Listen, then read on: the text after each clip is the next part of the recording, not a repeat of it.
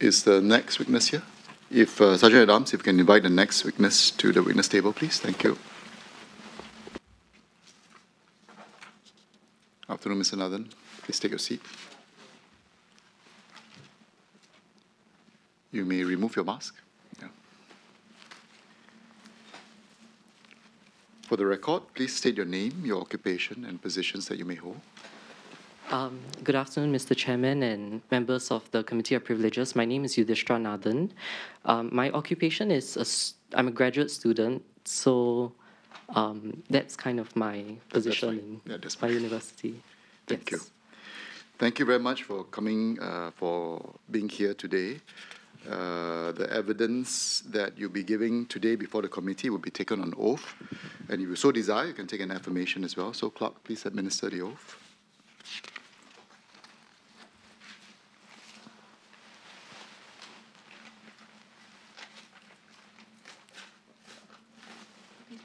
Yes, hold the affirmation on your left hand and raise your right hand, and you may proceed to recite the oath. I, Yudhishthra Nathan, do solemnly, sincerely, and truly declare and affirm that the evidence which I shall give before this committee shall be the truth, the whole truth, and nothing but the truth. Thank you. May you take a seat. Thank you. Please be seated. Now, the Committee of Privilege is looking into the complaint made by the leader, leader of the House, Ms. Indranee Rajah, against former member of Sengkang GRC, Ms. Raeesah Khan, for a breach of privilege. So again, thank you for attending today's hearing to give evidence before the committee and to answer the questions which members of the committee would like to put to you. Uh, you do have a solemn obligation to answer our questions truthfully. If you refuse to answer our questions directly or attempt to mislead the committee, such behavior will be an offense and in contempt of this committee. I will now call on Minister Edwin Tong. Questions? Thank you for being here to come and assist the COP. I just want to give you a, some opening remarks in the background. You know that Ms. Khan is facing a complaint by the Leader of the House. It relates to untruths spoken in Parliament and also a failure to substantiate allegations made in Parliament. That's the broad nature of the complaint. Uh, She has admitted to them, and I think you might be familiar with uh, what happened in Parliament on the 1st of November. This COP is set up to understand the specific circumstances, fact find, and also in the appropriate case to make recommendations as to the appropriate sanctions, if any. In that context, the nature and context and circumstances in which this took place would be relevant for us to consider, which is why we are inviting evidence from anybody who is able to shed light on how the statements came to be made and the events that took place thereafter. Because as you can appreciate, that goes towards the level and degree of culpability. So that's why uh, we are taking this evidence. In the course of um, this session, I will ask you specific questions. I'll be grateful if you could answer them. If there's a need to elaborate and they're relevant, I'll ask you to elaborate on them. Along the way, there might also be, you might reference messages or emails or documents, and if they are relevant and subject to the, Mr. Chairman's uh, approval, I will ask you to produce them as well to this COP. Finally, if there's anyone else in the course of giving your answer whom you think will be able to shed more light on relevant issues, please do raise them to us. Okay? Okay, Okay, thank you. Thank you.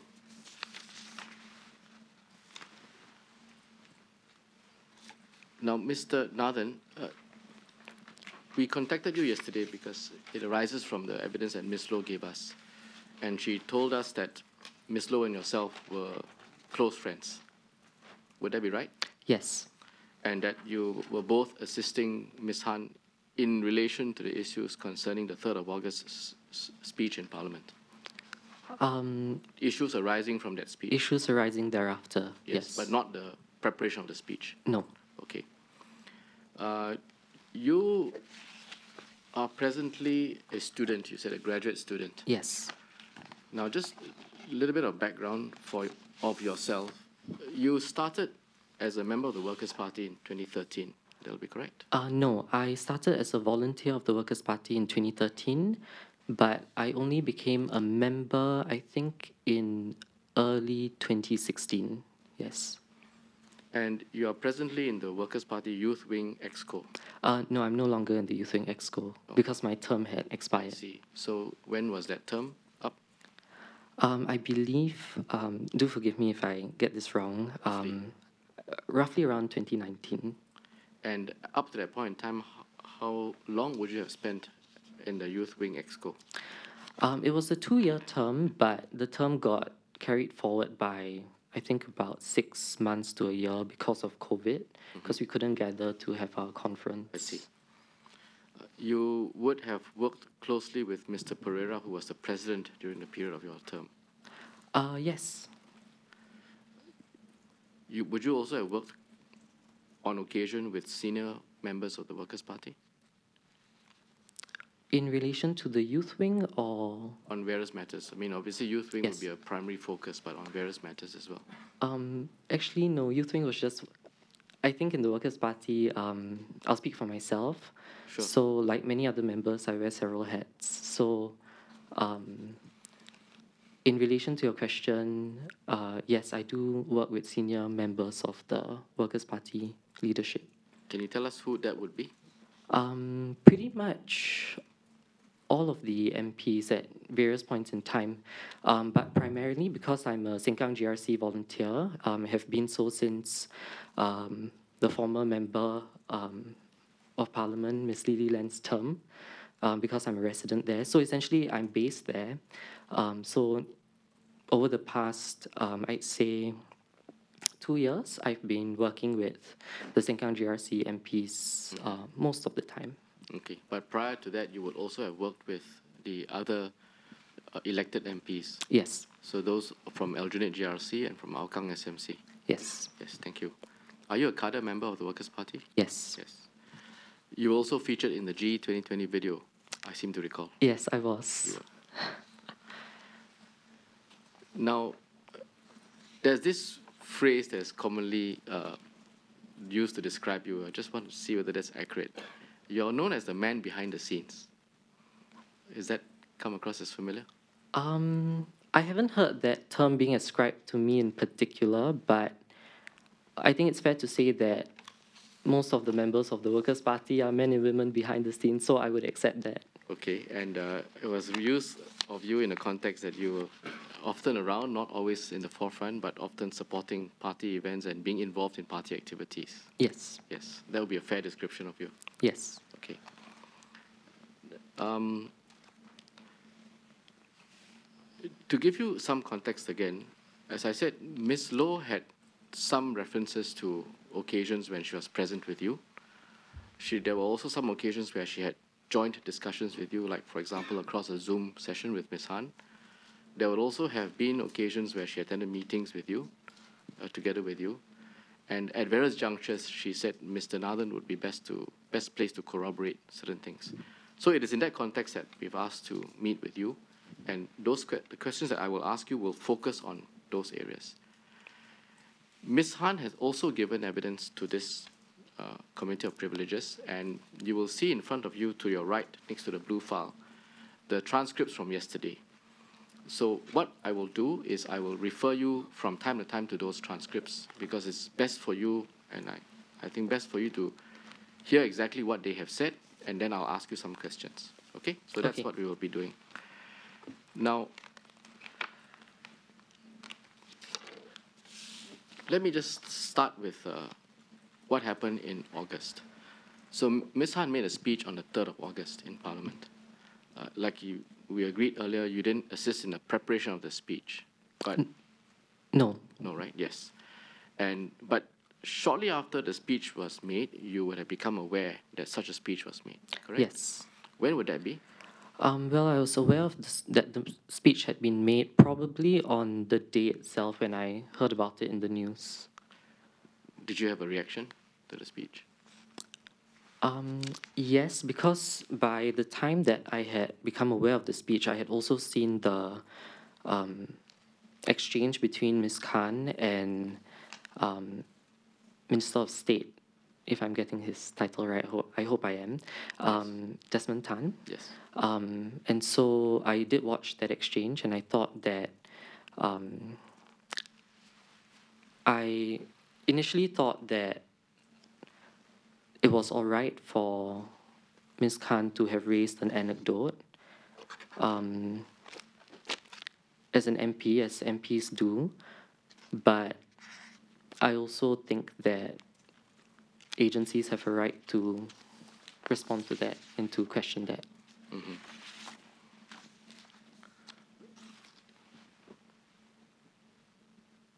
At what juncture did you uh, did you speak to Ms. Khan at the point in time, or was it just an observation of the speech itself that you that you had?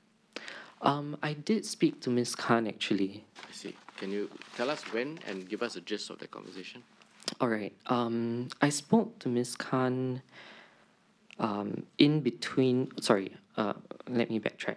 I spoke to Ms. Khan just after um, the exchange that she had with the minister, because she gave me a phone call Wait, can you? She gave you a phone call. Yes. This would be on the third of August. on the 3rd of August. Okay. Can you uh, tell us roughly what time this was and maybe give us a gist of the conversation?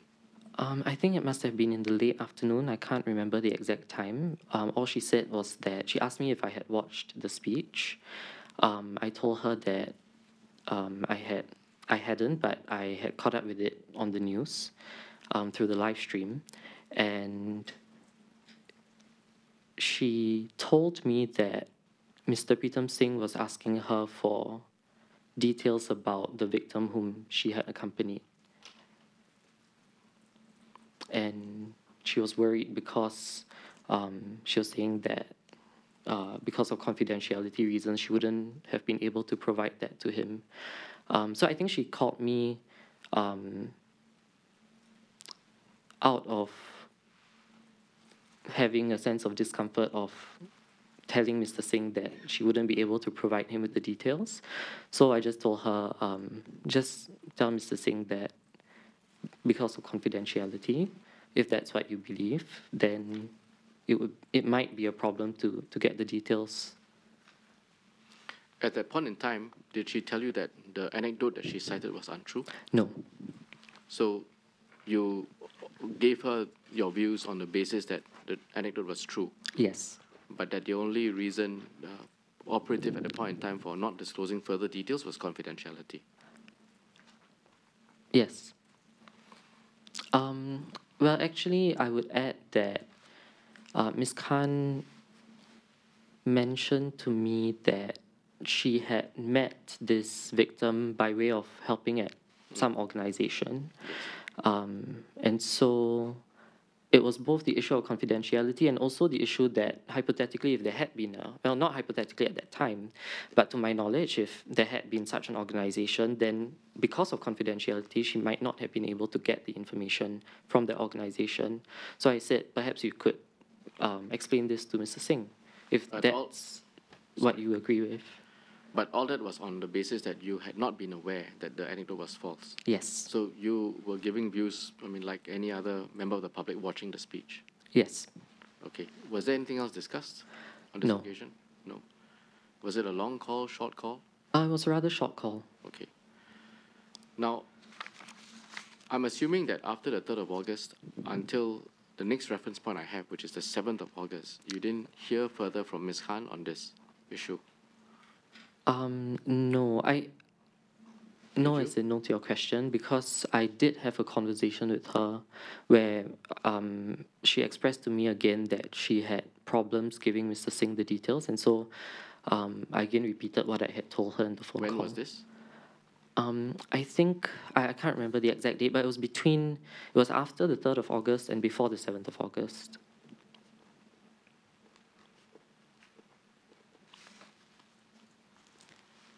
Okay.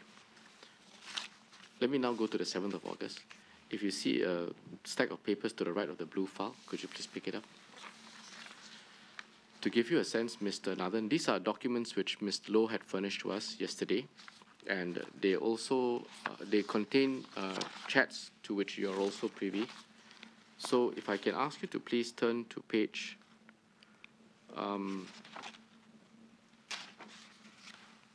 well, first of all, the first page, you will see that that's a chat group that you have with Ms. Khan and Ms. Loh, correct? Yes. And here she's, there's an exchange of information or comments about the speech itself. I would like you to turn over the page to page two. On page two, there's a chat exchanged on the 7th of August. And in the evening, Ms. Khan says, It's probably one of the worst things I've done in my life. And uh, it is not clear who this is, is who's responding. I uh, can't really tell. It says, What did you do, Ray? This sounds scary. Was that from you or from Ms. Loh? Miss Loh. Ms. Loh. And then she says, Perhaps if you guys are free tomorrow and come over. When she says you guys, it means Ms. Loh and yourself. Yes. I did something stupid and unnecessary. Ms. Loh then says, Is it internal and easy to contain? Answer, Yes, if Pritam wishes for it to be. He is the only other person besides my husband to know. Did you resign? I didn't. Now, pausing there for a moment, at this juncture, were you aware of this chat, this discussion? Yes. Y- you were. So you knew that there was something bad, in her words, that had happened. Yes. Or one of the worst things in my life, as she says. Did you know what it was? No.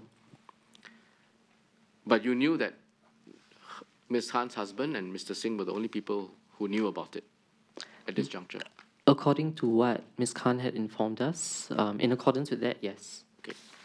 I'm told you then had a Zoom meeting with Ms. Loh and Ms. Khan on the same day. Yes, that evening That or evening. night rather. So on the 7th of August. Yes. Okay, can you briefly describe what happened at the Zoom meeting? So at the Zoom meeting, Ms. Khan had reiterated that she had done something terrible. Um, and essentially, she told us that it related to the speech that she had made on the 3rd of August and that she had essentially lied in her speech about having followed the victim to the police station.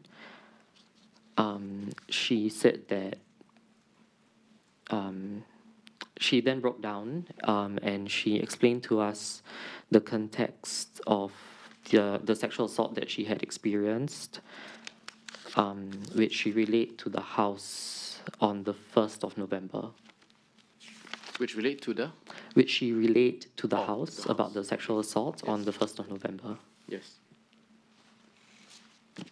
What else was discussed at the Zoom meeting? At the Zoom meeting,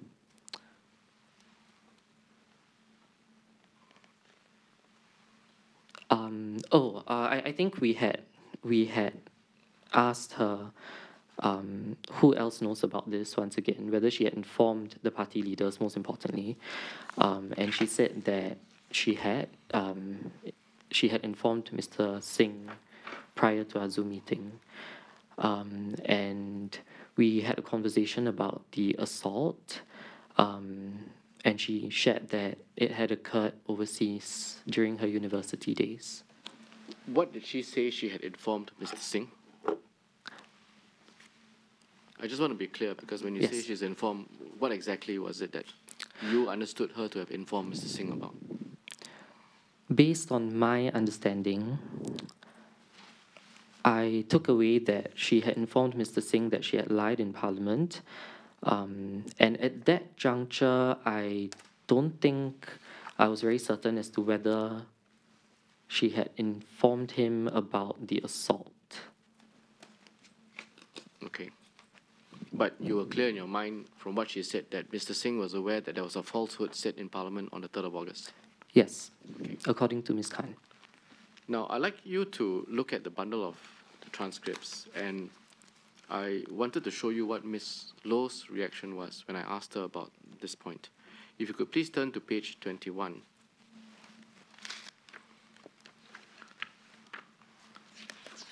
Mr. Uh, Nathan, these are raw transcripts in that they have not been edited, so there are some minor typographical errors and so on, which will be corrected eventually.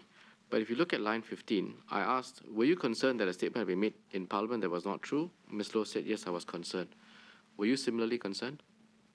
Of course. Thank you. And did you give her any views on that?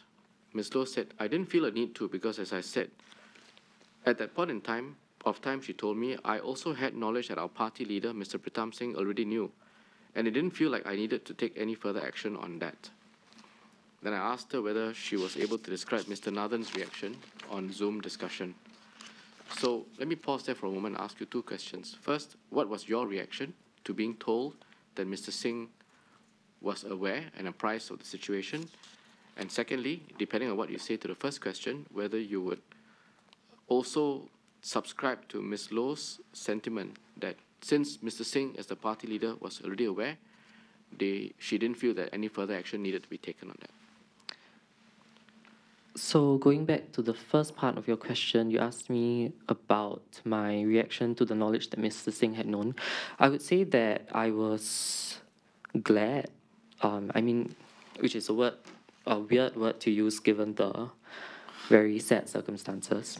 Um, but I was glad because at least um, the party leadership knew. I think instinctively we, uh, I I can speak for myself, and I, I do believe Ms. Loh uh, viewed it the same way. We wanted, um, we were concerned as to whether the party leaders knew, because obviously if um, a MP comes to you and says, I lied in Parliament, uh, I think it's only right that the party leaders are aware of it and that they investigate the matter. Yes.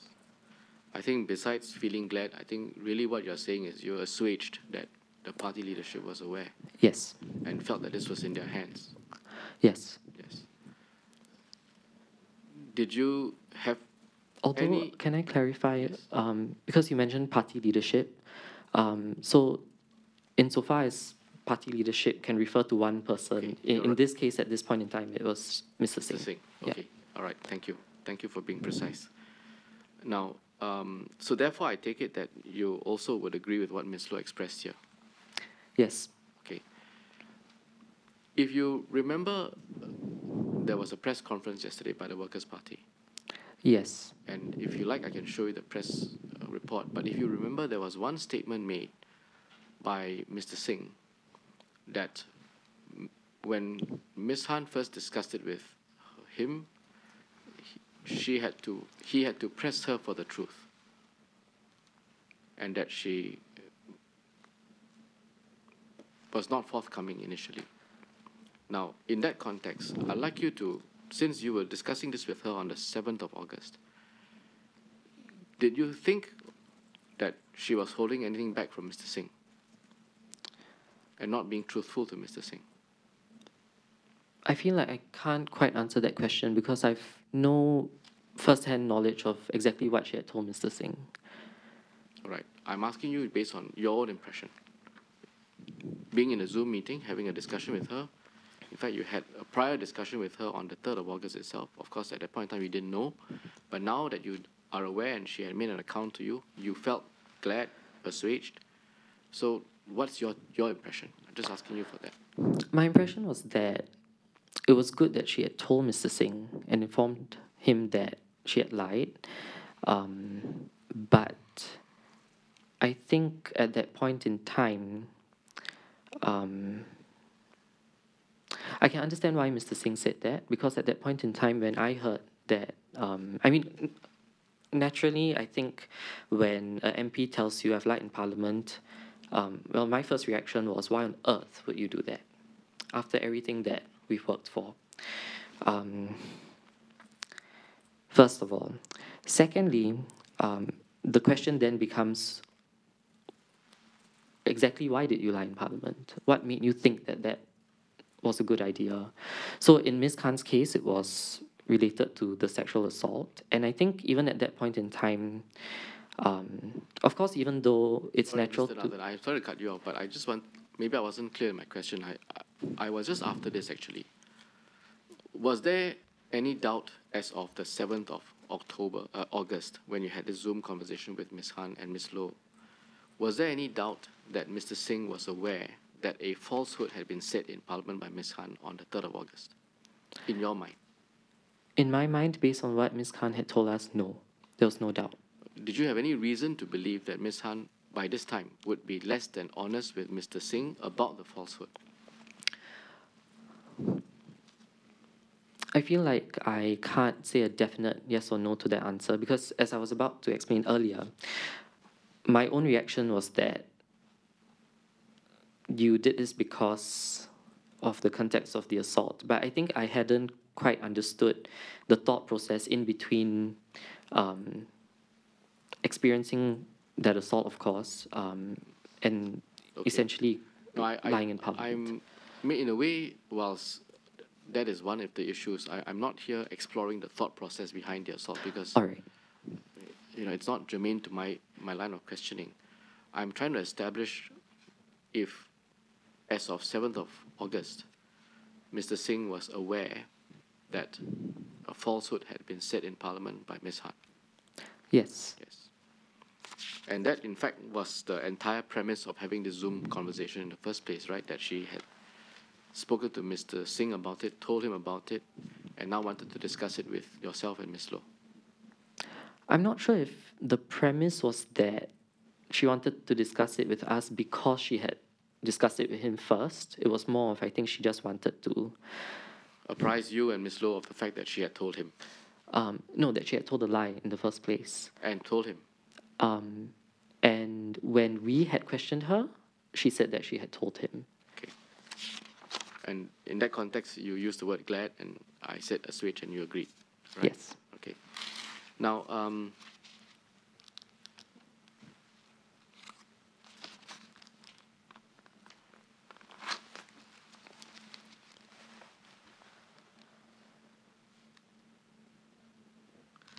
Ms. Khan then said that the next day she had arranged to meet with Mr. Singh, Mr. Manap, and Ms. Sylvia Lim at Mr. Pritam Singh's home. Were you aware of this meeting before it took place? No. no. But you do know that they met on the next day, on the 8th of August, at Mr. Singh's home at some stage, right? Uh, I was aware on the 8th of August that she had had a conversation with Mr. Singh, Ms. Sylvia Lim, and Mr. Faisal Manap, but I'm not aware of when, When? that conversation had occurred exactly. Okay. My, my impression was that it was between, um, certainly between the 3rd of August and um, the 8th of August, inclusive of the 8th. Well, put it this way, Mr. Nathan. You had a conversation with Ms. Uh, Khan on the 7th of August, quite late in the evening, after 7 p.m., Yes. right? And at a, as of that date, she didn't tell you that there was a meeting with Mr. Manap and Mr. Ms. Lim. No. So it couldn't have taken place prior to that, right? Uh, unless she omitted that information, but I would, Don't speculate. I mean, as far as you know, she didn't as far as I to you, know, right? no. Okay. In fact, in the context of the kind of discussion you were having on Zoom, it would have been natural for her to have said it to you if there was such a meeting, right? Yes. Yes. The next day, at about 12:30 p.m., she sent a text, including to you. If you can pick up the same bundle again, you will see it. On page where we left off earlier, you just go further down the page.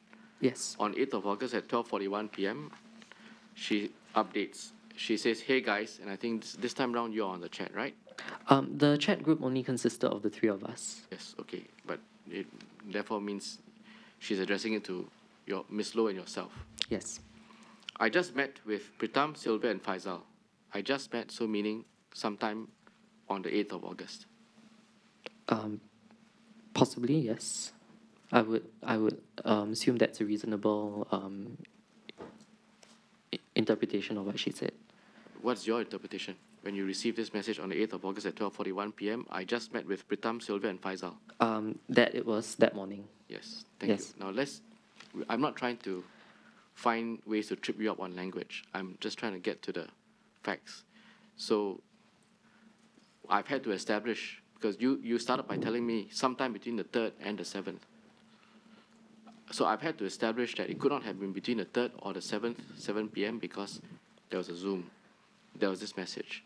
So I don't think we are trying to play games in terms of the language. Um, no, I Okay. totally accept.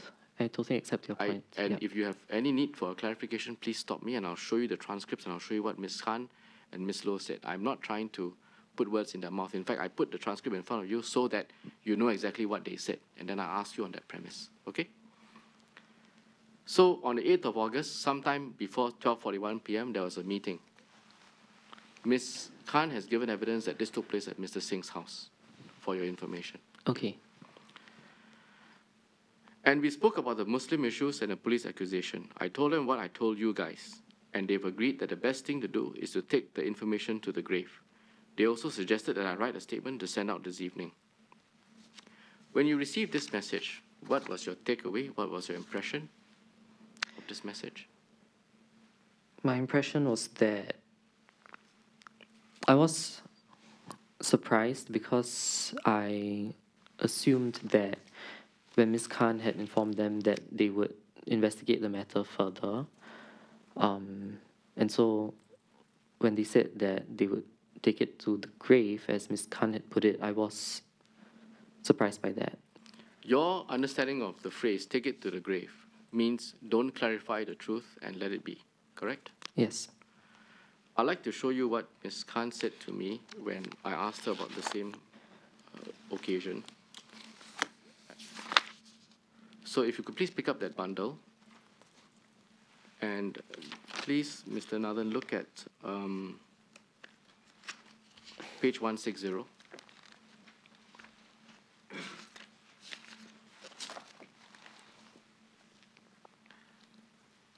I wanted to give you the context so that you know finally where this come, where the questions would come from. So the context starts at line uh, eight or nine. Meeting was at Mr. Pritam Singh's house, she says. And then I said, on this occasion, Ms. Lim and Mr. Manap were present. She says, yes. I asked at line 13, did you put in clear terms to them as well that the statement you had made was false? Answer, yes. Could they have misunderstood? No, they could not. What was their reaction to this? Answer by Ms. Khan, it was incredible disappointment. There was a lot of anger, but I think there was some compassion there as well. The reaction was that if I were not to be pressed, then the best thing to do would be to retain the narrative that I began in August. I said, let me understand the last statement. You said if you, are, you were not going to be pressed and then you take the narrative that you started in August, yes, it means if we can get away with it, we don't need to clarify the lie, correct? Ms. Khan says, I think in the simplest terms, yes, you are correct. So it was in this context that I asked Ms. Khan then, what did she communicate to yourself and to Ms. Loh? And if you go over the page, at page 162, I then asked, did you discuss this with Ms. Loh thereafter? She says, yes, I did. In those discussions, did you give an account of what happened? Yes, I did. Would that be by messages? Yes, that would be by messages. And those messages would capture the thrust of what you had discussed with Mr. Singh, Mr. Manap, and Ms. Ms. Lim. Then she says yes, and then I asked her whether those messages at line 19 would have been contemporaneous, meaning they would have been roughly around the same time as when you concluded the meeting with the three of them. Answer yes. So this was Ms. Khan's takeaway from it. I, I know you were not there at the meeting, so I'm not going to ask you about what you, what you perceived of that meeting, but would your impression or your takeaway from receiving this message that we have just seen on the 8th of August at 12:41 p.m. be consistent with what Ms. Khan had told us yesterday? In other words, that if you're not pressed for any answer on this, you can let it be and don't have to clarify. That is the impression that I got between, uh, I mean, from her message, um, based on her message as reflected in the screenshot here. Right.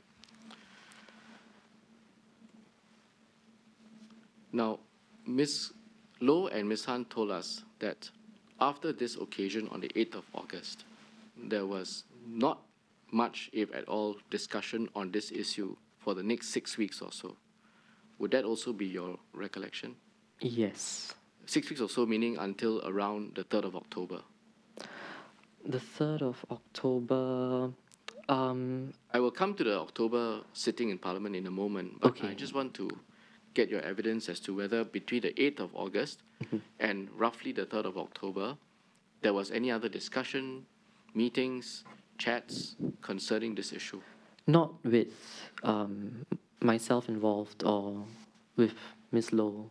As in, the three of us didn't meet to discuss this issue. In fact, we were um, we were discussing the the other issue on Muslim issues, which occupied the second part of her speech. Yes, okay, I understand. But besides that, on the question of the false anecdote, was there any discussion? I don't recall any discussion. Okay. If Ms. Khan had a separate discussion with Mr. Singh, Mr. Manap, or Ms. Lim, would it be your expectation that she would update you and Ms. Loh? Do you mean during that period of time? Yes. Um, mean, just as she did when she went to have a meeting on the 8th of August, she sent you a message almost immediately after.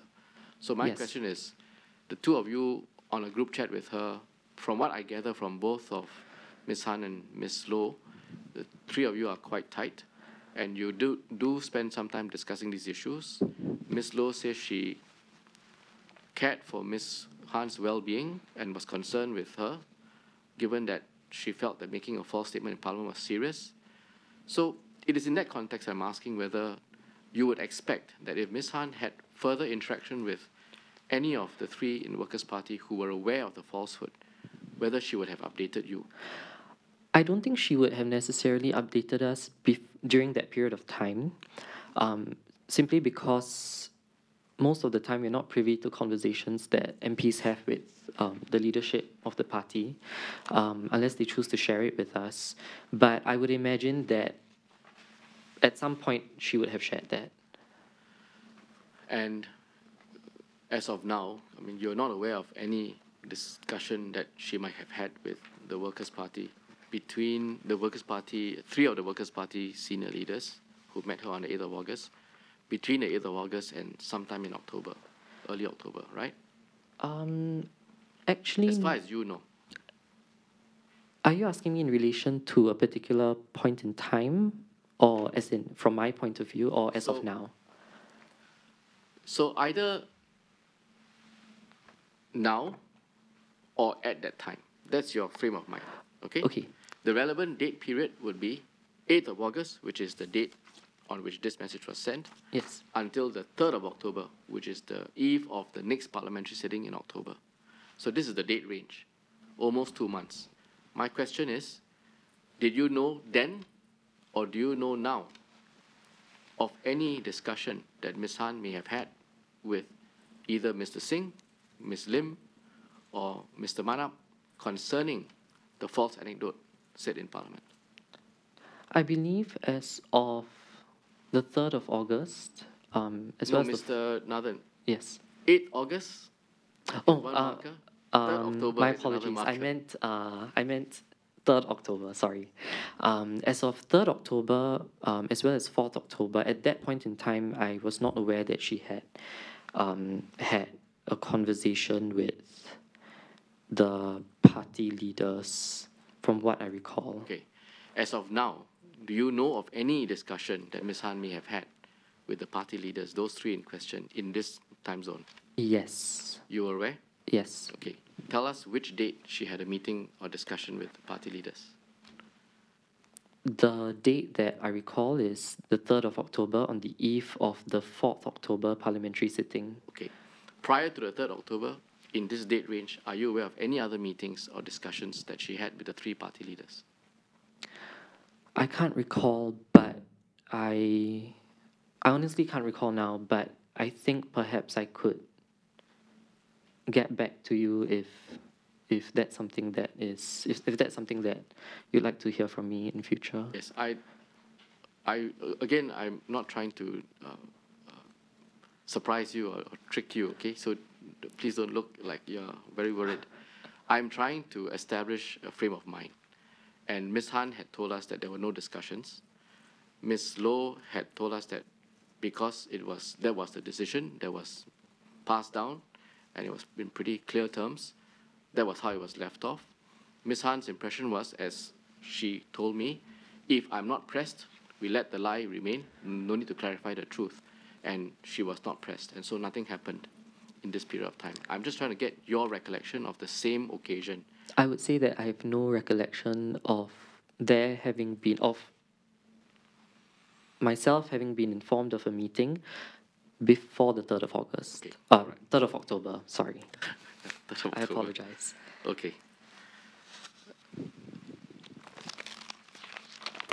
The that's as far as Ms. Khan is concerned. Now, there is one uh, occasion which Ms. Loh referred us to.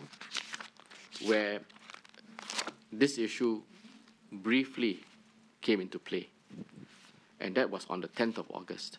Okay, I'll, I'll just show you what she said to me and I'll see whether you recall. So if you could please pick up the bundle again. Yes.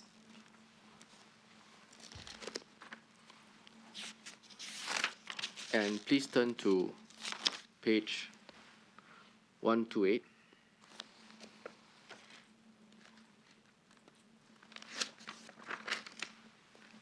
Somewhere around the middle of the page, Ms. Loh was responding to a question from me concerning uh, some of the press reports from yesterday. Uh, if you quick- quickly cast your eye over the next few lines, she says, admittedly, I was not privy to the specifics of the conversation between Ms. Khan and Mr. Singh, and so on. Line 24, so when Ms. Khan told me on 7 August the truth, I had a meeting with Mr. Pritam Singh on 10th August on a separate matter. And while we were waiting, and I mean, your, your name was omitted from this, but she referred to you here. I don't know why she said poor Mr. Nathan Um, was also I, with me at this meeting about a separate matter. We are good friends, okay? Briefly, Mr. Pritam Singh confirmed that he knew with me. Now, this was Ms. Loh's account. I'm now asking for your recollection of this account.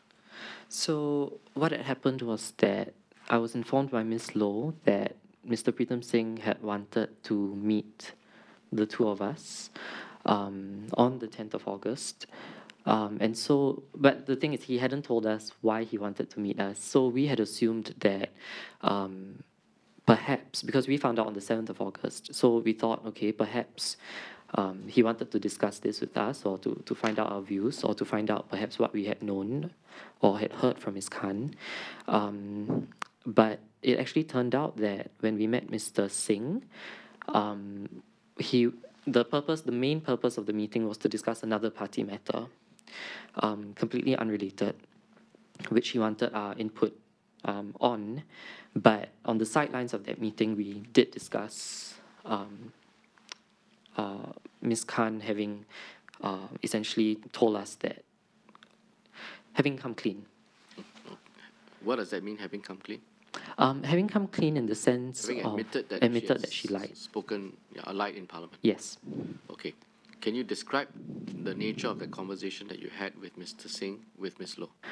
From what I recall, um, we of course expressed disappointment that Miss Khan had lied and shock.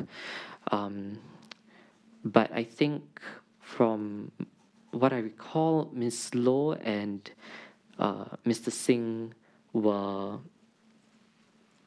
talking about how, or rather, Miss Loh was telling Mr. Singh that sexual assault victims do experience trauma, and that can sometimes um, make them, in some circumstances, be less likely to, to want to to tell the truth out of fear, perhaps. Um, I remember Miss Loh saying that this was a point that she wanted to communicate to Mr. Singh. Um, just from her own, um, Miss Loh happens to be someone who has um, good knowledge about um, issues of um, women's rights and um, sexual assault cases in Singapore. And so, um, just to summarize, my understanding of that meeting, uh, as, re- as it relates to the lie, was that we all had, we were on the same page in terms of knowing that she had um, lied to Parliament and in terms of knowing that she had cited the sexual assault as her reason for that. Okay.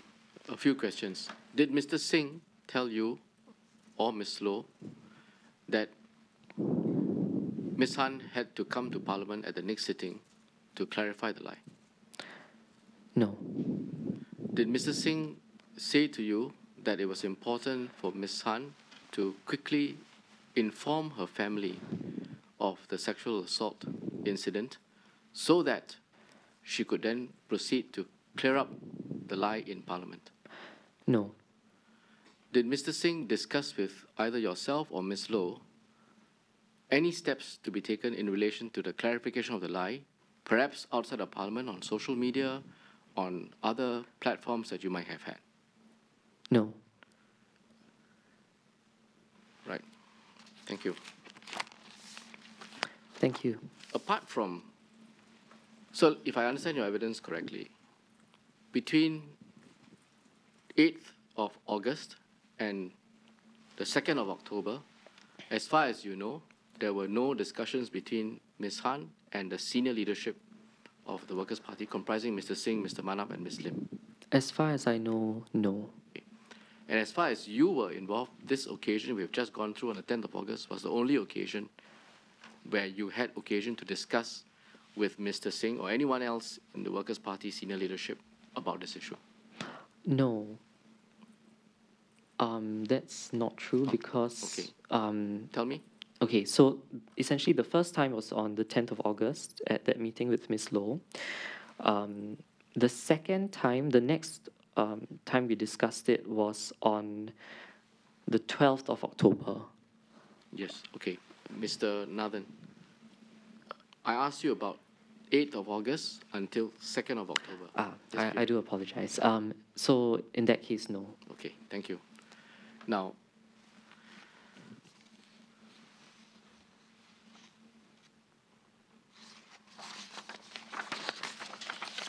I will come to the 12th of October in a moment, but I just following the chronology.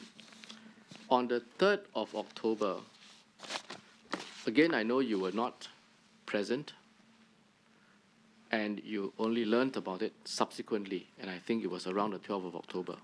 Uh, it was on the 12th of October, yes. just have that as a marker for the time being. But based on what you found out on 12th of October, on the 3rd of October, Mr. Singh went to visit Ms. Khan at her home, Yes. right? Were you aware of what they had discussed? Only insofar as Mr. Singh had relayed it to us, um, us meaning Ms. Loh and I, um, at his residence on the 12th of October. Okay. Did Mr. Singh tell you that he discussed with Ms. Khan the possibility that the issue might arise in Parliament on the next day, the 4th of October? Yes. Yes. And did he discuss with you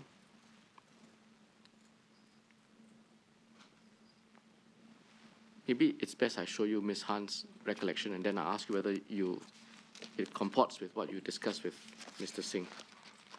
So that I don't put words in her mouth, okay? Okay. Um, page 153 of this transcript.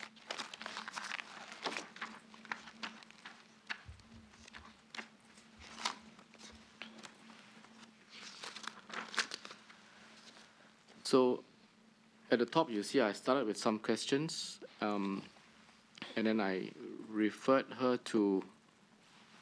I think this was in the context of some press statements made yesterday, and I'd like you to focus on line 13. Can you remember the occasion at which you were asked to clarify the statement before the October sitting? Ms. Khan says at line 16, before the October sitting, I had a conversation with Leader of the Opposition, Pritam Singh. And the conversation was that if I were to retain the narrative, or if I were to continue the narrative, there would be no judgment. Can you tell us which date this took place? 3rd October? Where did this take place? In my house. Now, would Ms. Khan's account of it here be consistent with what Mr. Singh informed you? Yes. Okay.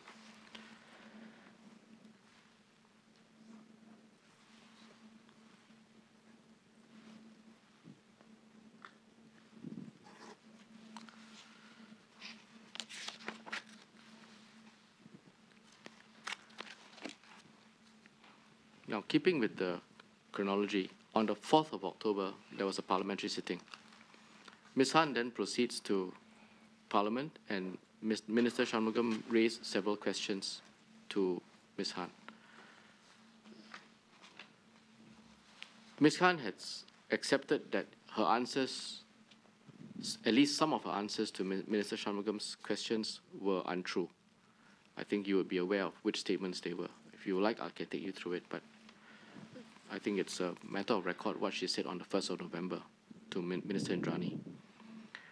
As far as you are aware, at the time these statements were made, which were false, the only people who were aware that they were false at that time would be Mr. Singh, Mr. Manap, and Ms. Lim, correct? In terms of the False anecdote. WP parliamentary party, then yes. Apart from that, it would have been Ms. Loh, myself, and Miss Khan's husband. Yeah, I, I mean, I, what I meant was in, in Parliament. All right. The Yes. only people you are aware of who would be aware that it was false was Mr. Singh, Mr. Ms, Mr. Manap, and Ms. Lim, Yes. right? Were you aware that after, okay, let me back up a little bit. Did you speak to Ms. Khan either before or after the speech was made? I Did she call you? Did you call her? Did you text her? Um, on the 4th of October, I don't think we had, I don't recall having had a conversation with her. Um, it's possible that we might have had, but I might have forgotten it. Um, Can you think carefully and see whether you're able to verify with your phone, if it goes that back that far, whether you spoke to her or she spoke to you, or whether you had exchanged messages either before she spoke in Parliament or after? um, certainly after, but I don't think it was on the 4th of October. Okay, can you give me a rough idea when you spoke with her? Uh, I spoke with her on, from my recollection, either on the 12th of October or just before. Okay, and what was the gist of that conversation? Uh, Ms. Khan had given me a phone call and she said, um, Yudish, Pritam and Sylvia want me to come clean to Parliament, and I think that I want to do so as well. That's essentially what she told me. That was just before the 12th October, which triggered the meeting that you had. Yes. Okay. But um, shortly after the speech was made, was there any discussion that you had with her? I can't recall now. Okay. Could you please check maybe later on when you have your phone, either in terms of the messages on whichever platform you normally communicate, and also your phone logs? Okay. All right. Were you aware that after she made the speech in Parliament, Ms. Khan had a meeting with Mr. Singh and Ms. Lim in Parliament in the LO office? Um, could you repeat your question? Sorry. Yes, of course. Were you aware that after she made the speech in Parliament, Ms. Khan had a meeting with Mr. Singh and Ms. Lim in Parliament in the LO office? This is the speech on the 3rd of August. 4th of October. On the 4th of October, no, I was not aware of that.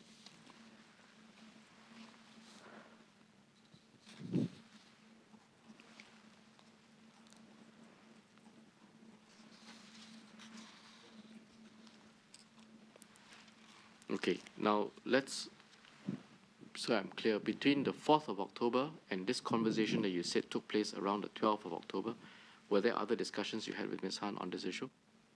I can't recall. Okay, did you have any discussions with anyone else on this issue? I can't recall. I don't think so. Okay, perhaps, uh, I mean, I don't expect you to remember offhand, but maybe you can check your phone logs again and maybe the messages. All to. See if that jogs any memory of any discussions on this, okay? Now, let's go to the 12th of October now. You would have uh, had a conversa- call from Ms. Khan, and she says she wants to come and explain and clarify in Parliament. Ms. Loh told us that yourself and Ms. Loh then asked to see Mr. Singh. Yes. Can you tell us why you made the request to see Mr. Singh? I think um, we were concerned that, I mean, of course, you know, it was good that she wanted to come clean, but we were concerned, um, or at least I was concerned on two fronts. The first was that um, it was is more of a concern of how she would make an apology, what information she would share um, in doing so. Um, so, for example, my take was that if she were to tell Parliament that she lied to Parliament, it would also be important that um, she explains the reasons as to why she lied to Parliament. But Ms. Loh and I, because we were very well aware of Ms. Khan's um, anxiety over the matter and her mental health, um, we knew that um, even though it was important, um, and of course we, we believed that it was important for her to explain the reason, um, that it would be important for her to also be sure that she's comfortable explaining and essentially telling the whole country that she was sexually assaulted. Um, so we just wanted to have a conversation with Mr. Singh um, about that. Okay. And so that uh, evening you had a meeting with Mr. Singh, right? Ms. Loh and yourself. Yes. Was Ms. Khan present? No. Did you report to Ms. Khan what was discussed and what had transpired? Yes. You did. What did you tell her? Um, I would have told her that.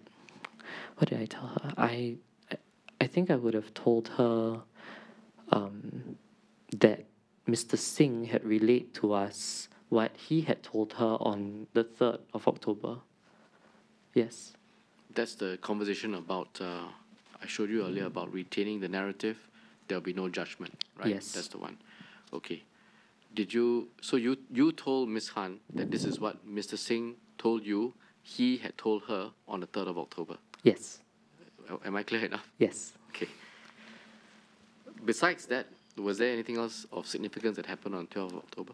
On the third of October. 12, 12, sorry. Oh, on the 12th of October, of significance? No, that was the the thing that struck me the most. Okay. Um, oh, I, I could add that we, um, or rather, I have added earlier that we were there to talk about um, just making sure that Mr. Singh had also um, spoken to Ms. Khan about her comfort level of um, bringing up the assault uh, and also the importance of bringing up the, the assault um, to Parliament in her explanation. So that was what we, we were there to, to talk about. With Mr. Singh. Yes. Okay. Which, and the importance of that, I mean, the two, I would say at least two angles to that. First, the importance of that would be to explain why there was a lie. Yes. And the other would obviously be to explain or try and give an explanation as to why and how she came to know of this account. Yes. Right, I, as I understand it, I mean, the way in which she put the explanation, it was because she was assaulted, she was herself part of the group. In that context, she heard about it. Yes. And so that was the construct of the explanation, so to speak, right? yes. Okay.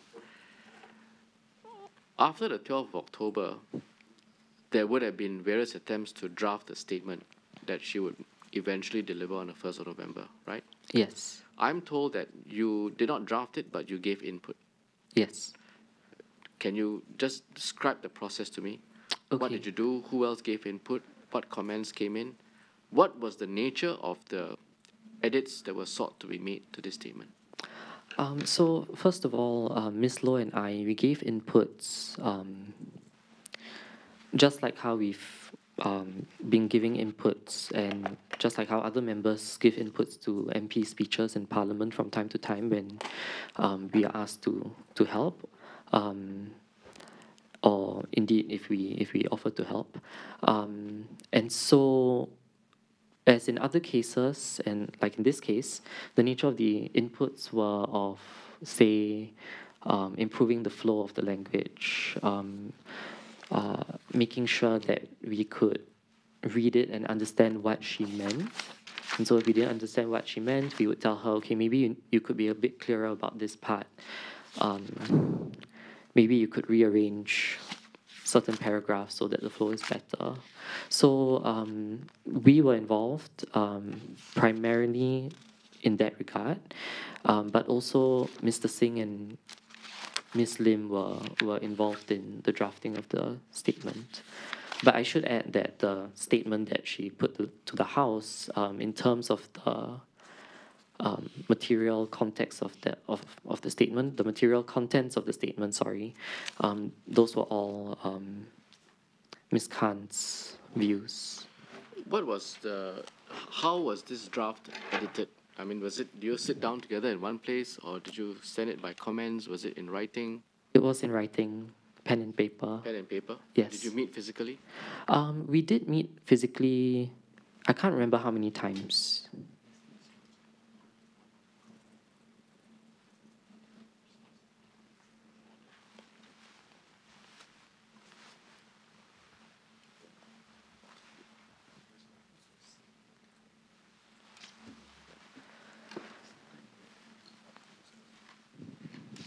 Sorry, Mr. Nath. So it was a pen and paper process. Yes. written on drafts Yes. and coming together to meet with each other to discuss the the, edit, the edits. Yes. So essentially, um, we, uh, Ms. Loh and I, we were there. Um, we contributed to some of the edits, but my understanding is that there were drafts going between Ms. Khan and Mr. Singh. Um, or rather, Mr. Singh, um, Ms. Khan would report her draft to Mr. Singh. Okay. So there were quite a number How of many meetings were there I can't remember the number of meetings, but um, that you that you attended? How many? that I attended, I can't remember the exact number, but one meeting does stand out because at that meeting, um, all of us were present Ms. Khan, Mr. Singh, Ms. Lim, Ms. Loh, and myself. At least one meeting, all of you were present. Yes. But there were other meetings where not all of you were present. There were other meetings where I don't. So, so the reason why I'm uh, not the reason why I can't remember is because we had commu- so Miss Loh, Miss Khan, and myself we had communicated back and forth about um, Miss Khan's concerns about her language in the draft. So, I can't remember how many meetings we Okay. might have had. Okay. Based on these discussions, the meetings, the comments, the edits that were that you're aware of, would you say that the eventual draft that was delivered by Ms. Khan on the ele- 1st of November was something that Mr. Singh and Ms. Lim were comfortable with Yes. because they gave their input and you said there were many drafts, presumably to reflect the different edits. Yes. Okay. Prior to this call that you had with Ms. Khan, I think you said on 12 October, or perhaps shortly before that, where she said, I'm now going to clarify the statement and tell the truth now. Were you aware of any other occasion on which she had articulated that desire or that intention prior to 12 October? Prior to 12 October, not very explicitly, but Miss Loh and I had had conversations with her. Because, as Ms. Loh had put it to me yesterday, her sense was that it's better to come clean in Parliament about the falsehood. Was that also your view? Um, yes, uh, and also Miss Loh had the view that Miss Khan should account to the WPCC. Okay, yes, she did tell us that. Yes. But that was something between the three of you. yes. But did, did uh, on any other occasion, did Ms. Khan say, to your knowledge, say to the Workers' Party leadership that she was going to uh, clarify the truth prior to 12 October? No, not to my knowledge. Were you aware of any occasion on which the Workers' Party senior leadership, any one of them, telling Ms. Khan to do so prior to 12 October? prior to 12 October,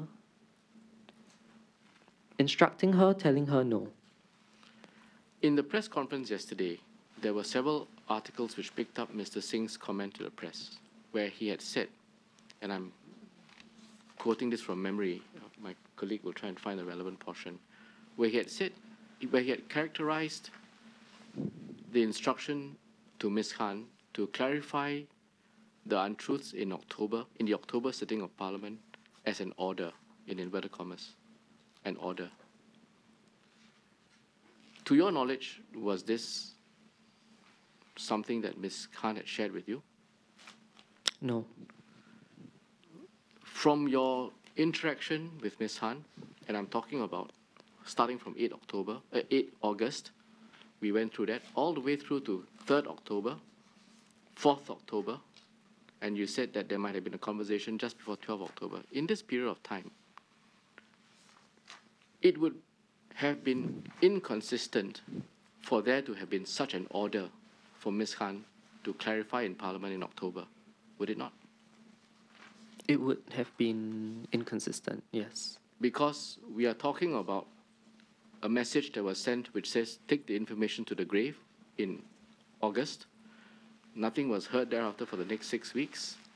In October, there was a discussion which says you retain the narrative, there'll be no judgment on you. On 4th October, the statement was repeated in Parliament. In fact, Ms. Khan defended the position. as it turned out, falsely. But three members of the senior leadership of Workers' Party were present in Parliament, at least on 4th of October when the statement was made. So, in that context, I think you would agree with me that any suggestion that prior to the sitting on the 4th of October, that there was an order for Ms. Khan to clarify the falsehoods in Parliament in October would be untenable, right? Yes.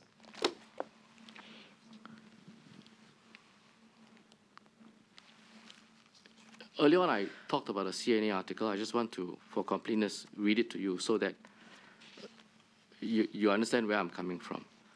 This is what I read to Ms. Loh yesterday as well. There was an article which quotes Mr. Singh yesterday as saying,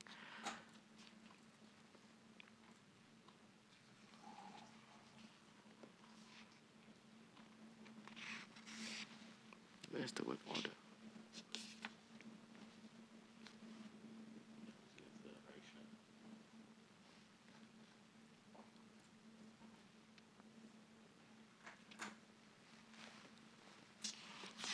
Sorry, just give me a moment. No worries.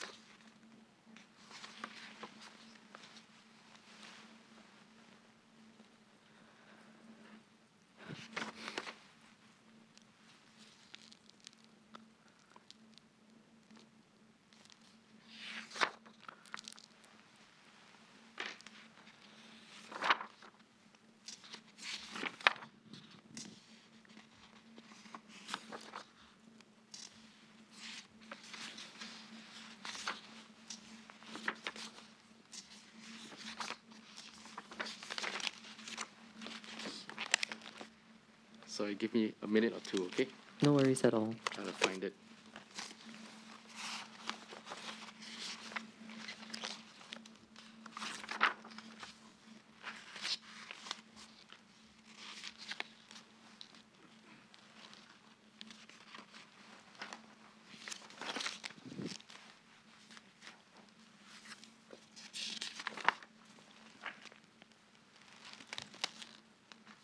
Okay, I found it. Can you please turn to page 131 of the bundle?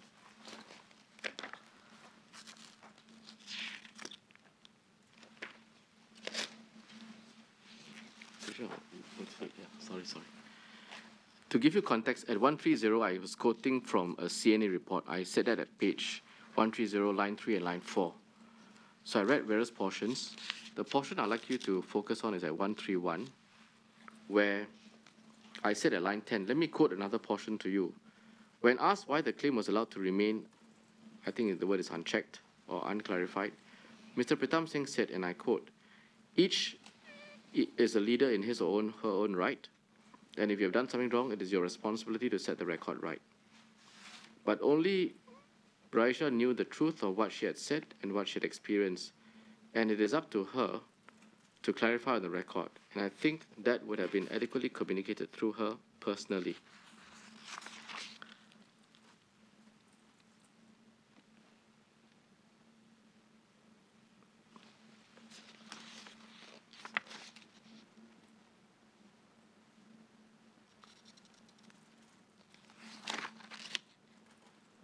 And in one of the responses to a, one of the answers in response to a query from the press, Mr. Singh used the word order that uh, why she didn't follow orders to clarify the falsehood. And let me just read it to you. It says at if you go to the same bundle at 132, bottom of the page, I'll go on to say that the press then asked Mr. Singh some questions, and this is what the report says, and I read it to you. In response to questions over why Ms. Khan did not follow orders to clarify the matter in October, Mr. Singh said, why she didn't take heed of that instruction, why did she ignore it, and this is not a question I can answer. So it was in that context that I had asked you those questions. And I think I've got your answers on the record, so thank you very much.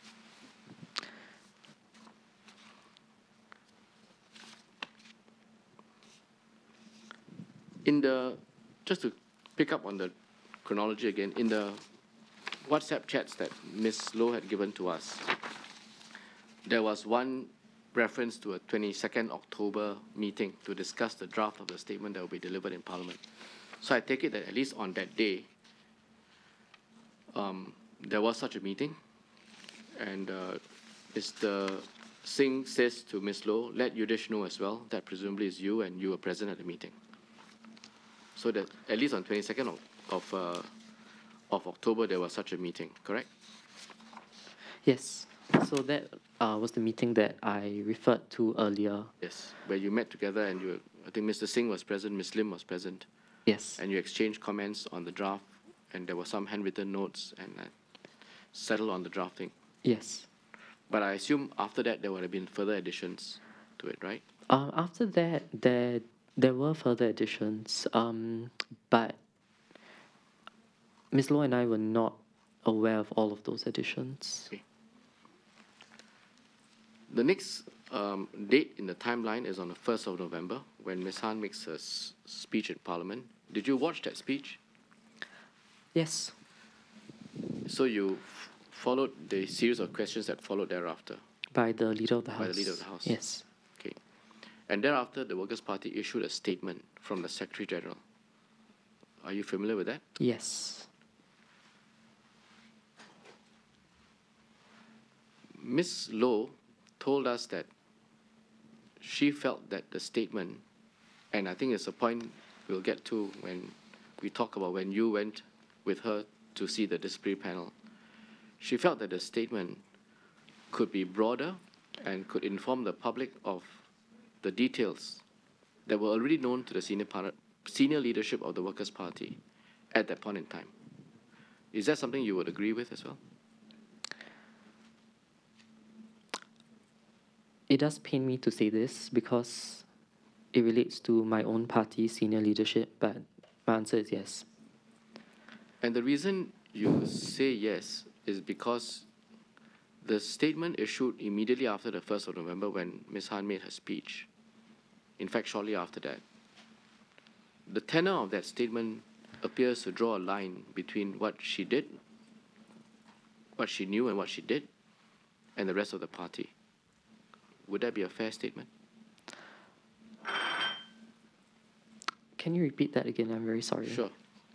I said the reason you said yes is because the statement issued immediately after 1st November appears to draw a line between what Ms. Khan did and knew and the rest of the party. And I asked whether that would be a fair statement. I don't quite understand what you mean by with the rest of the party. It seems to suggest that no one else was involved in managing this process. No one else was involved in understanding and knowing that this was untrue.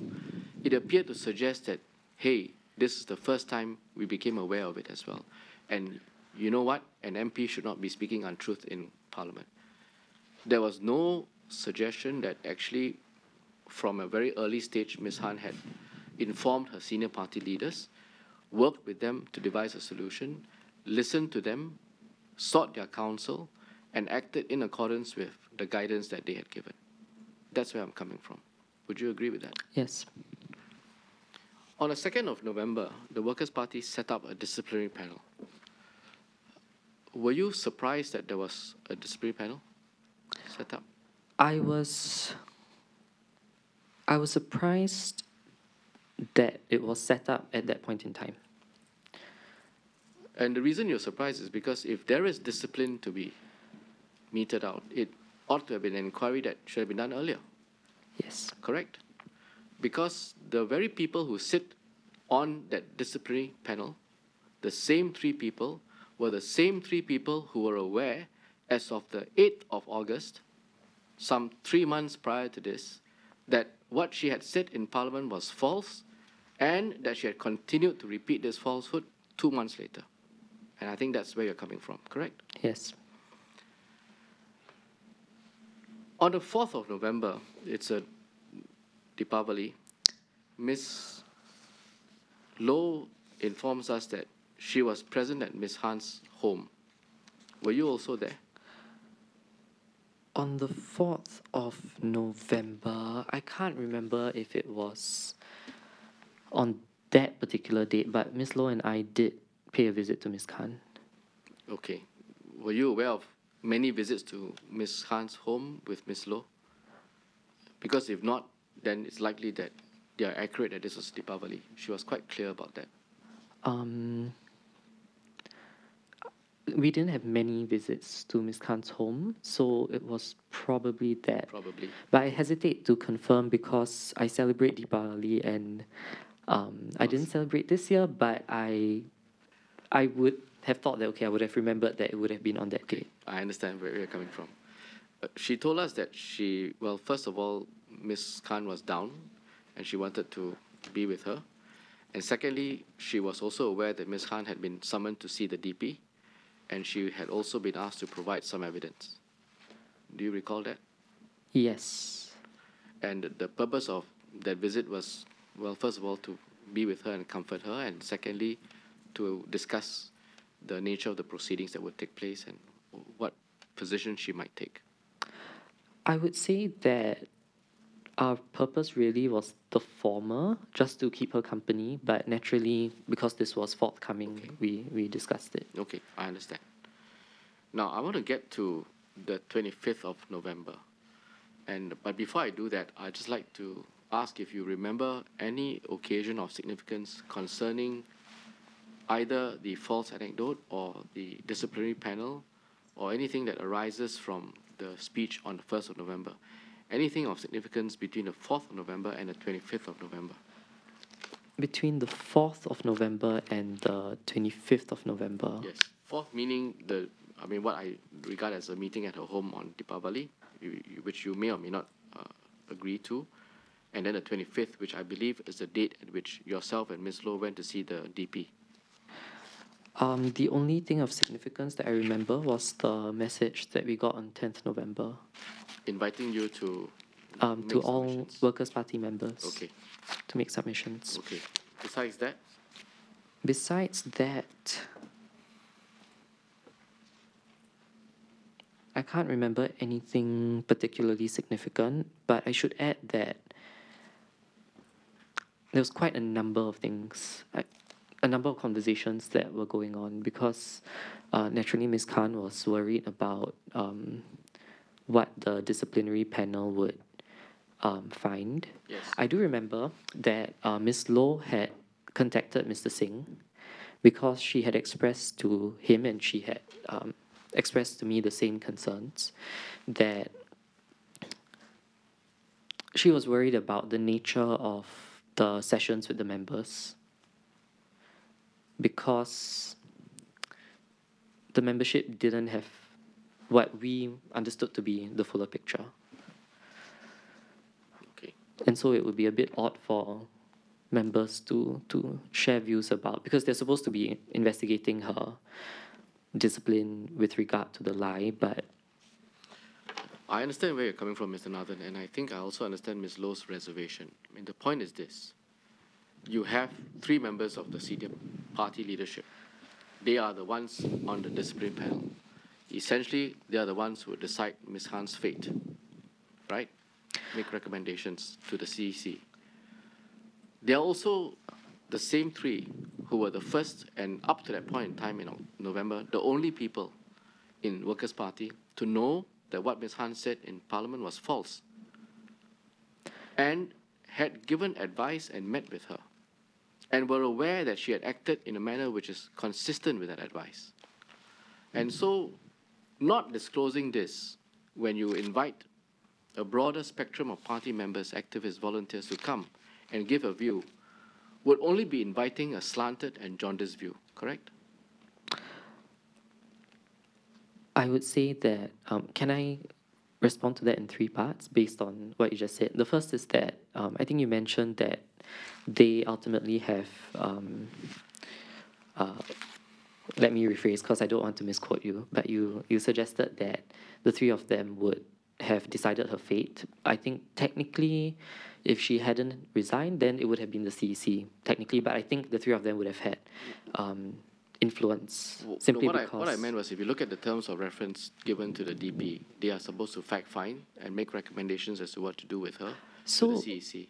In my view, the DP is almost like analogous to this committee in that eventually you come up with a recommended penalty and then Um, just as how Parliament would debate the report of this committee, the CC would then debate the findings of the DP and vote on that recommended penalty.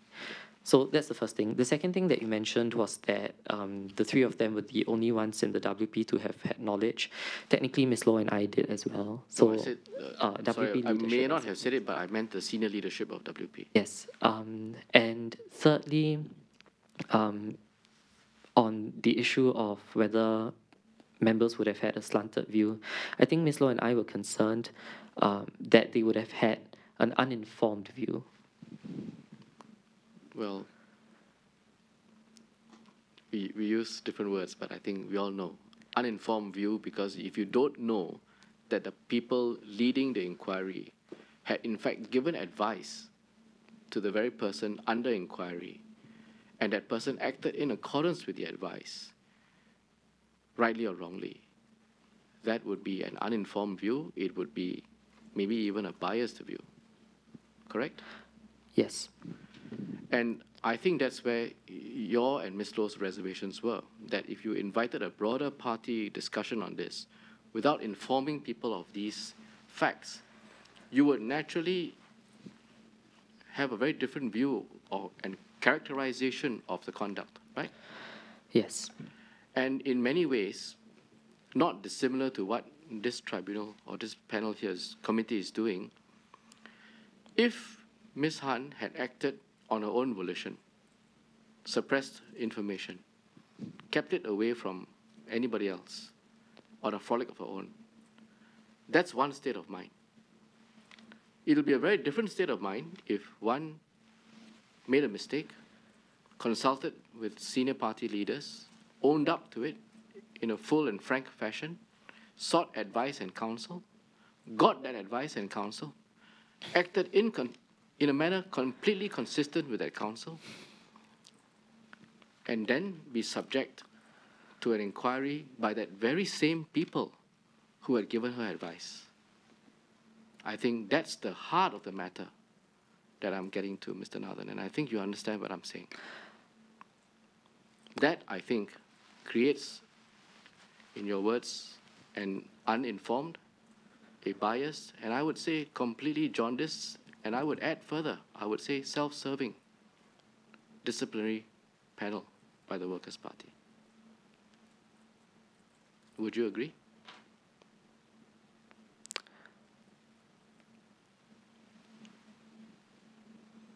I think that in the context of everything that did transpire and did occur, it does pain me to say this, but I would agree. Thank you. I understand where you're coming from, and I thank you for your candor. But it is important for this tribunal to appreciate the gravamen of the situation and to understand the relative culpability of the different individuals and the circumstances. And I think that's what this inquiry is here for. And I appreciate your assistance and your candor for this. Now,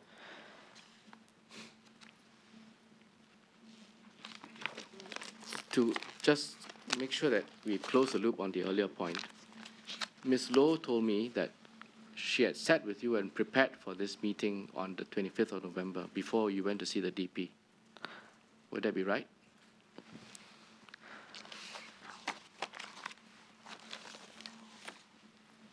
I can't remember if we sat down physically or if we had Okay. just communicated. Sorry, I, I don't mean physically sat down, but Yeah. at least had a meeting of minds and consensus on what you would present to the DP. Yes. right? And if you could please look at uh, the bundle at page 91.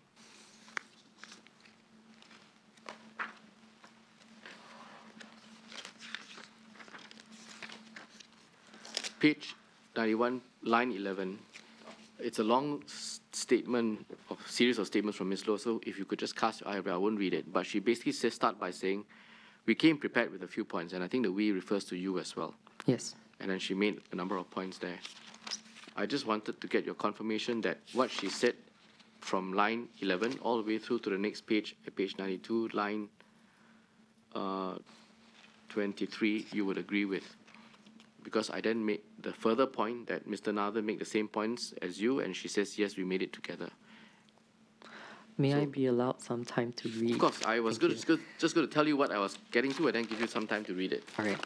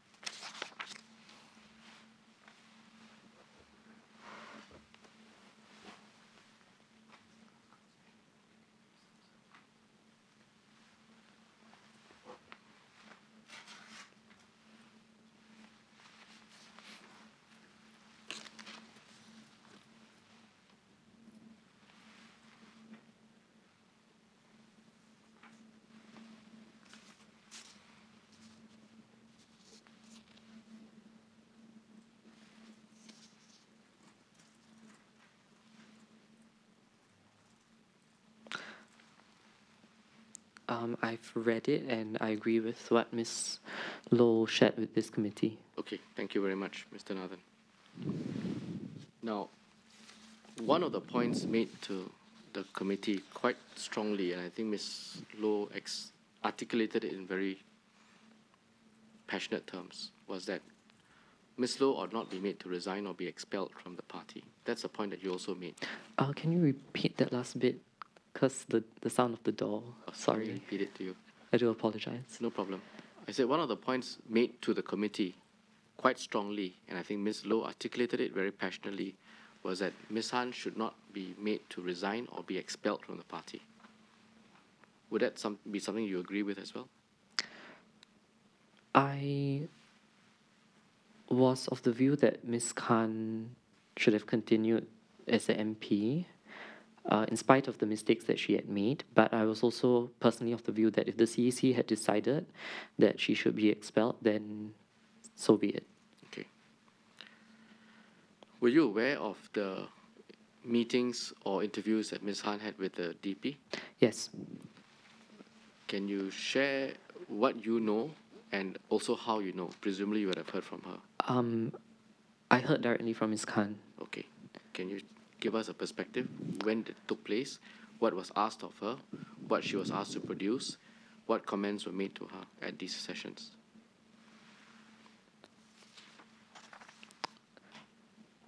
So I think from the outset, I should mention that the disciplinary committee meetings were supposed to have been confidential, but I fully accept that it's important to respect Parliament's authority on this.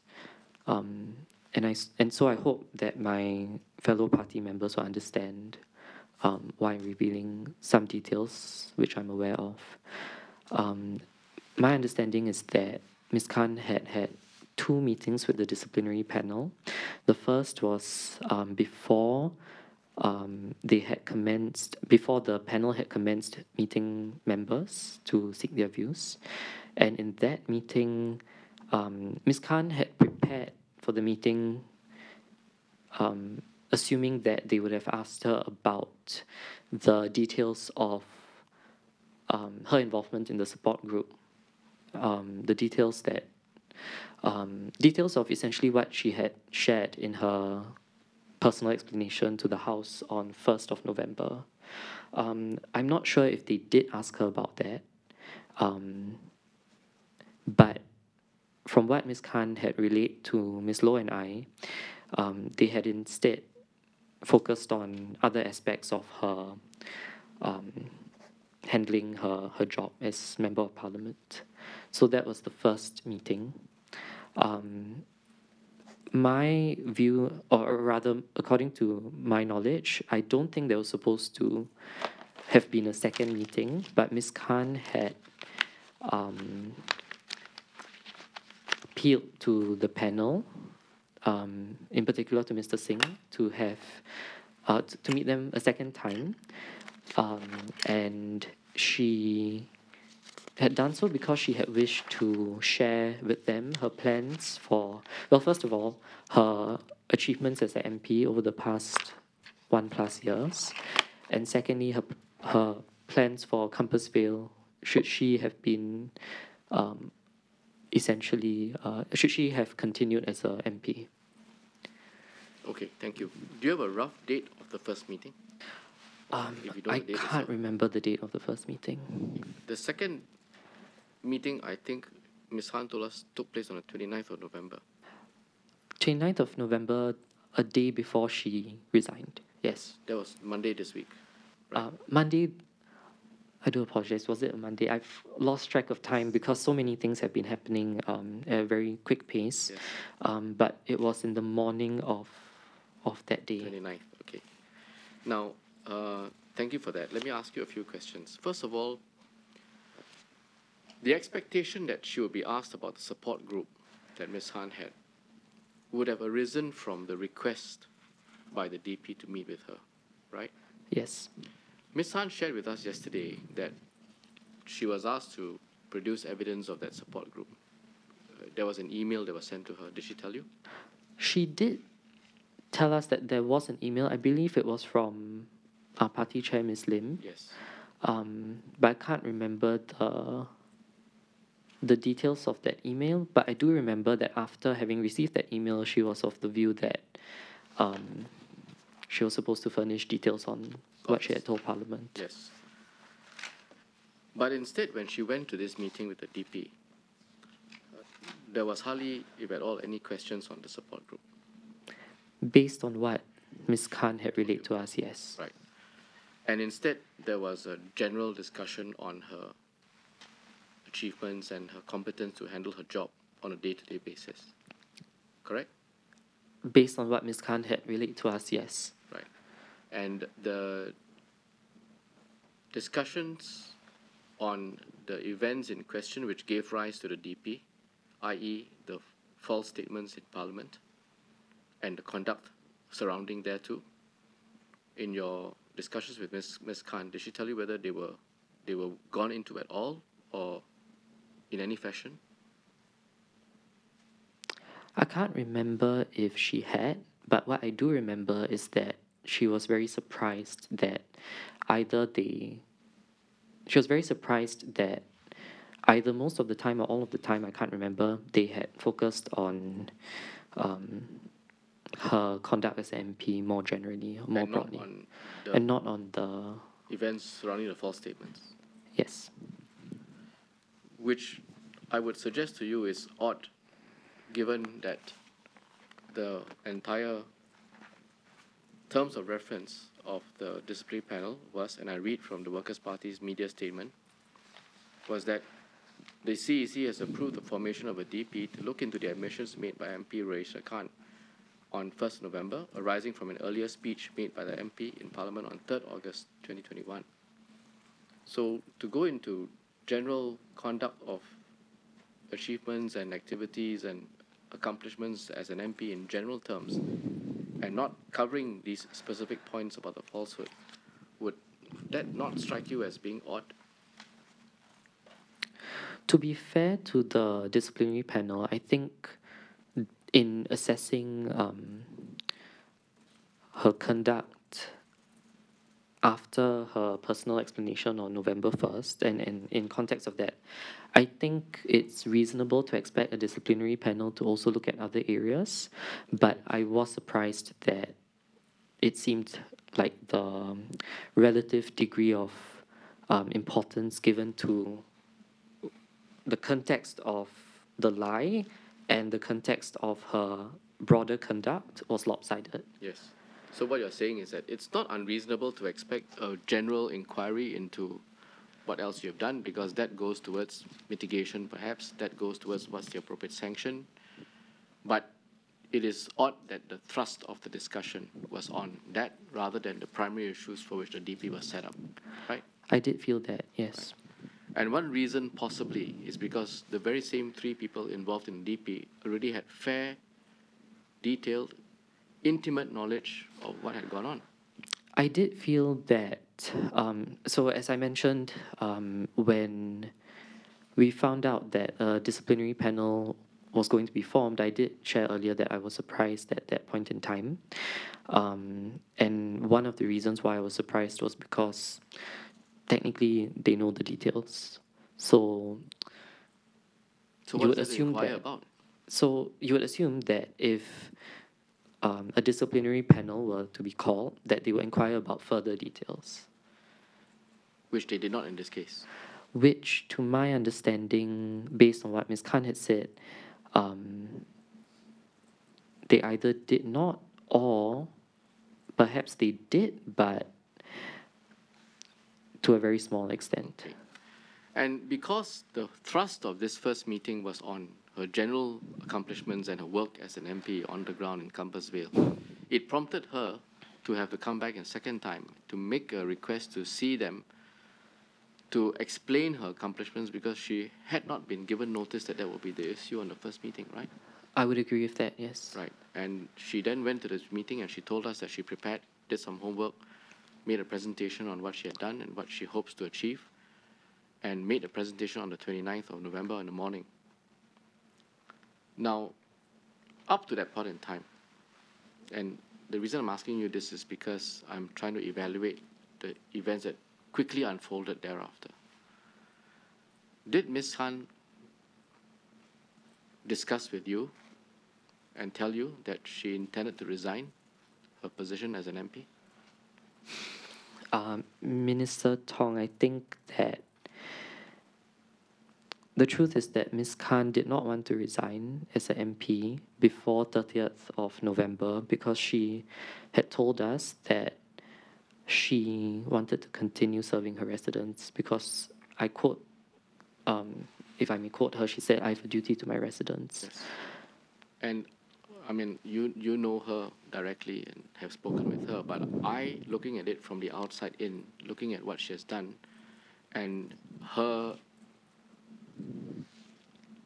conduct on the 29th of November in wanting to come and persuade the DP, despite being somewhat blindsided by the first meeting that there was a discussion on her general achievements, came back and made a presentation and basically was a stout defense of her position and looking forward and telling them what she intends to achieve as an MP. That's far from the conduct of someone who has thrown in the towel and wants to resign, right? Yes. And so, between the 29th of November and the 30th of November, what changed?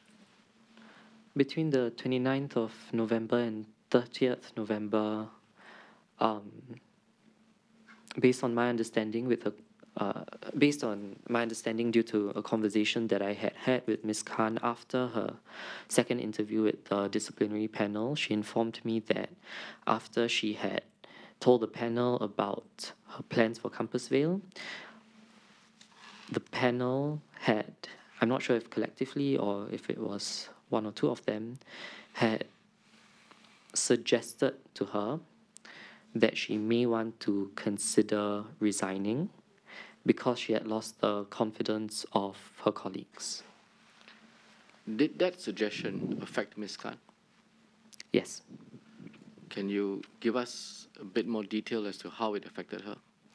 Um, I, I should add, yes, in my view, in, in my opinion. Um, it affected her because in that phone call that she had had with me, she. It almost seemed as if she was very. Um, I mean, she went into the meeting. In fact, before the meeting, um, she was telling me that she was nervous to, to present this to the disciplinary panel. And I was telling her, what do you have to be nervous about? I mean, if you really want to continue being an MP, then, you know, go for it. Um, and so she had gone in, I think, with the hope that they would hear her out. Um, and so when I had that conversation with her after, she sounded rather disappointed that um, in spite of the fact that she had tried to address the concerns about her general conduct as an MP um, and her general uh, competence in different areas as an MP, um, that that was what she had heard from the panel.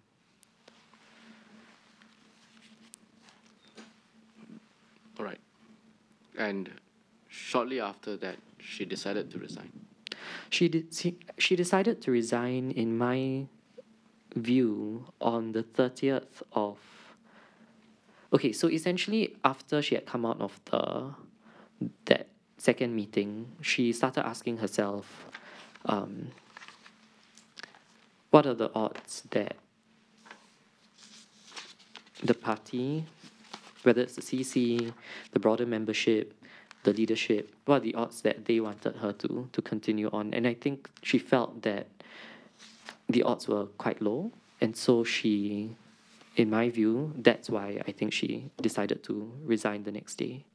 The odds of her her being able to receive continued support from the party, is that what you mean? Was quite low.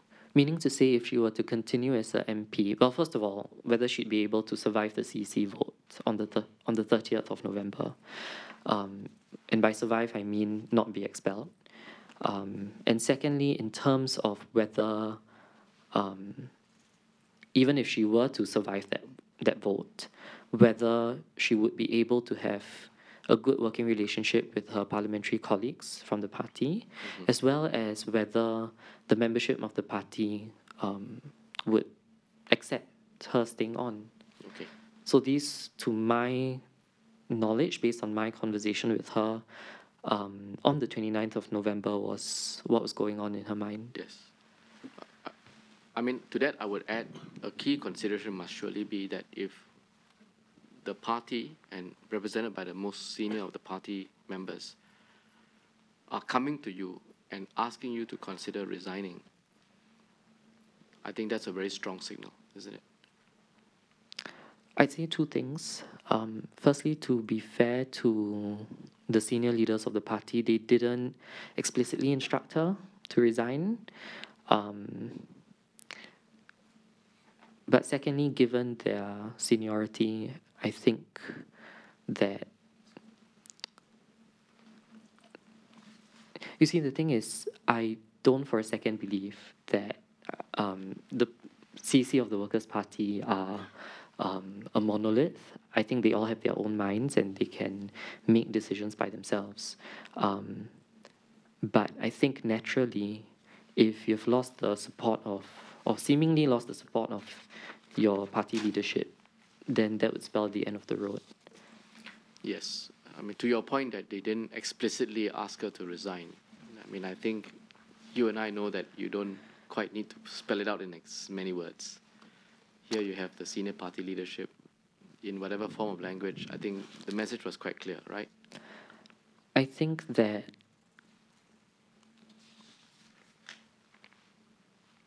Ms. Khan felt like the message was clear. Um, there was a CEC meeting on the 30th of November. And I think, at least based on what I know from public sources, it was supposed to have been sometime in the evening of the 30th of November. By that time, were you aware, and you can, you, you may not be aware, but if you can, please help us. Were you aware if the disciplinary panel had already completed its work, prepared a report, and presented it to the CEC? Uh, no. I was not aware that they had already. Um, so, my understanding was that when I heard that there would be a CC meeting that evening, um, my understanding is that the disciplinary panel would present their report to the CC um, and then they would deliberate on the matter. But I should also add that proceedings of the CC are not, as in as members of the WP, whether we are ordinary members or cadre members, proceedings of the CC are not um, something that we are privy to on a usual basis. Understand. So I don't wish to mislead the committee by saying that this is my, uh, by saying that this is definitely No, true. which is why I caveated my question by saying, to your knowledge, as far as you know, there was no such report that was prepared, and uh, not, to your knowledge, such report was not done and not presented to the CEC. No. And the last, at least very close to the 30th, was still Ms. Khan, who had come before the CEC to give representations, which presumably the DP would take into account as well. Um, can you repeat that? Sorry. The DP is set up to investigate, fact find, make recommendations, and report to the CEC. The DP is under an obligation, obviously, to listen to all the submissions that comes before it. Whether it agrees or disagrees, it has to consider and make a view, and based on that, make a report and send to the CEC. What I'm saying is the last, at least what we know as the last or very late submi- submission was made by Ms. Khan on the 29th itself, just the day before. And that must also have been something that the DP should consider in making its report, right? Yes. All right. Now, um, Mr. Nathan, I've prepared a chronology of events which roughly accords with what I had taken you through, and I want to just show it to you so that you can confirm parts of it. Could I have copies given to Mr. Nathan, please?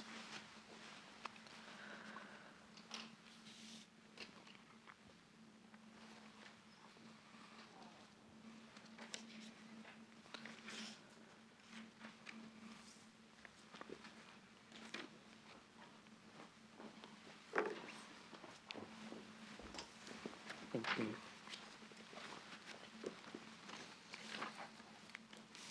So, Mr. Nathan, let me just orientate you to this document. It's a chronology starting from 3rd of August right through to the 2nd of December, which is yesterday. And it covers the key discussions that we've had over the course of this morning or afternoon. And as far as I can tell, you have agreed to this in the form that I've set out here, save some additions and clarifications that I'll take you through now. And if there's anything else you don't agree with, let me know and I will go through it. So let's start from the top. 3rd of August, there was a speech in Parliament. I think that's a fact. You would agree. Tell me if you don't agree, okay? You also mentioned that sometime in between the 3rd and the 7th, you had spoken with Ms. Khan. You recall? Between the third and the seventh, yes, that's right. Okay. On the 7th, Ms. Khan spoke to Mr. Pritam Singh and told him that she had spoken an untruth in Parliament. Uh, no. On the seventh, Miss Khan had informed Miss Loh and I that she had lied and that the only other people who knew were her husband and Mr. Singh. Yes. So, So she would have spoken to Mr. Singh, which is what I asked you about earlier. oh, I I do apologize. I thought I heard you say that she had spoken to Mr. Singh on the seventh of August. She had spoken to Mr. Singh by the 7th of August. Yes, that's right. Okay. So if you want, we can say by the 7th of August. On the 8th of August, let me take you through these points. There was a meeting that took place. I, I'm asking you not so much to uh, speak to someone's intention, which I know you can't do. I'm asking you whether now that we've gone through the facts and circumstances, whether or not these s- points here represent factual matters which happen in the timeline, because this would assist us in forming a view on the timeline. Okay? And this information, sometimes, like for example, the 12th of October sitting, you might learn about something that happened prior to it later. But you do know on the 12th that a meeting took place on the 3rd, and that would be part of the flow as well. This is what I mean. Okay? right. So there was a meeting that took place at Mr. Singh's house, where these people were present, Mr. Singh, Ms. Lim, and Mr. Manap. I put a page reference here. Ms. Khan told them that statement she made in Parliament was false. If you like, you can turn to the page and have a look at it. This is her evidence.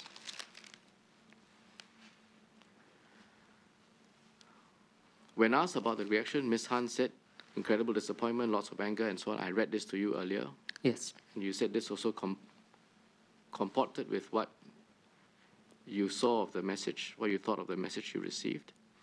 At D, Ms. Khan agreed that the upshot of the meeting was that the members of the Workers' Party had decided that there would be no need to clarify the position and so on. Again, it's at page 161 of her evidence. At E, after the meeting, RK, which is Ms. Khan, sent a text inter alia to yourself as well, and I think we saw the text earlier. And this was sent contemporaneously at or around the same time when the meeting was concluded, which was 12:41 p.m. on the 8th of August. Do you need to see the text again? Can I, just to check the time? Um, Yes, second page at the bottom, 8th August, 12:41 p.m. yes, that's right. Okay. Then we go to the 10th of August. You remember you described a separate occasion that mo- both Miss Loh and yourself went to see Mr. Singh on a separate matter. Yes. And the takeaway from this, both from Miss Loh and yourself, was that Mr. Singh knew about the falsehood in Parliament. Yes. At 10th August B, Ms. Loh was assuaged that senior leadership was aware and it was an expectation that the problem would be sorted out at that level. I think you also shared that view. Yes. The next key occasion, because I think we agreed that there was nothing until the 3rd of October, right? So the next key occasion is on the 3rd of October. Mr. Singh visits Ms. Khan at her home. Yes. B, Mr. Singh was expecting that Ms. Khan would be pressed about her lie since it was the first occasion since August that she'll be back in Parliament. Correct? Correct. And then I, I just put in her evidence, which I read to you earlier, where she says, if I were to retain the narrative, or if I were to continue the narrative, there'll be no judgment. At, on the 4th of October, several things. One, Ms. Khan addresses Minister Shanmugam's questions in Parliament. Two, there were several clear and direct false statements that were made in response to Minister Shanmugam. Three, at the time the statements were made, Mr. Singh, Mr. Manap, and Ms. Lim would have been aware that they were false as she was making those statements in Parliament. Correct? Yes. I think we went one step further and said that actually only they, from the members of Parliament, would be aware. Yes. Right. 4th October at D, this one you said you were not aware. There was a meeting that took place at the LO office, but to be fair to you, you said you were not aware. So this reference point is coming from Ms. Khan directly. So save for this, I, I will not ascribe any direct knowledge of you on your part to this because you said you were not aware. Okay. So you can Thank you. ignore D. All right. And uh, as a consequence, you can also ignore the last paragraph, okay? Now, paragraph uh, 12 October, this one you would be aware. Ms. Khan first calls yourself and Ms. Loh and says that she will admit and clarify the false statements in Parliament. You then have a discussion. Um, she called us separately, Okay, separately. and I'm not sure if she called Miss Loh, but she did call me. Okay. I will not, she did call Miss Loh, and uh, I have that from her, but Uh, what I meant was that I knew that she had communicated to Miss Loh, but by way of a text or call, I'm not sure. okay, all right, I understand that. So, subject to that caveat, you would agree with the 12th of October entries? Um, for A, yes. For B, there's a message that she sent. I think you see that in the bundle as well. And then for C, you would agree because you then met with Mr. Singh at his home that evening. Yes.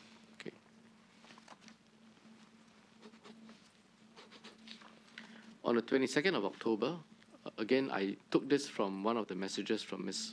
Loh. I think you were present and you said this is one occasion where you exchanged views on the drafting. Yes. 1st November, Ms. Khan makes a speech in Parliament. WP issues a statement. I think that's a matter of record.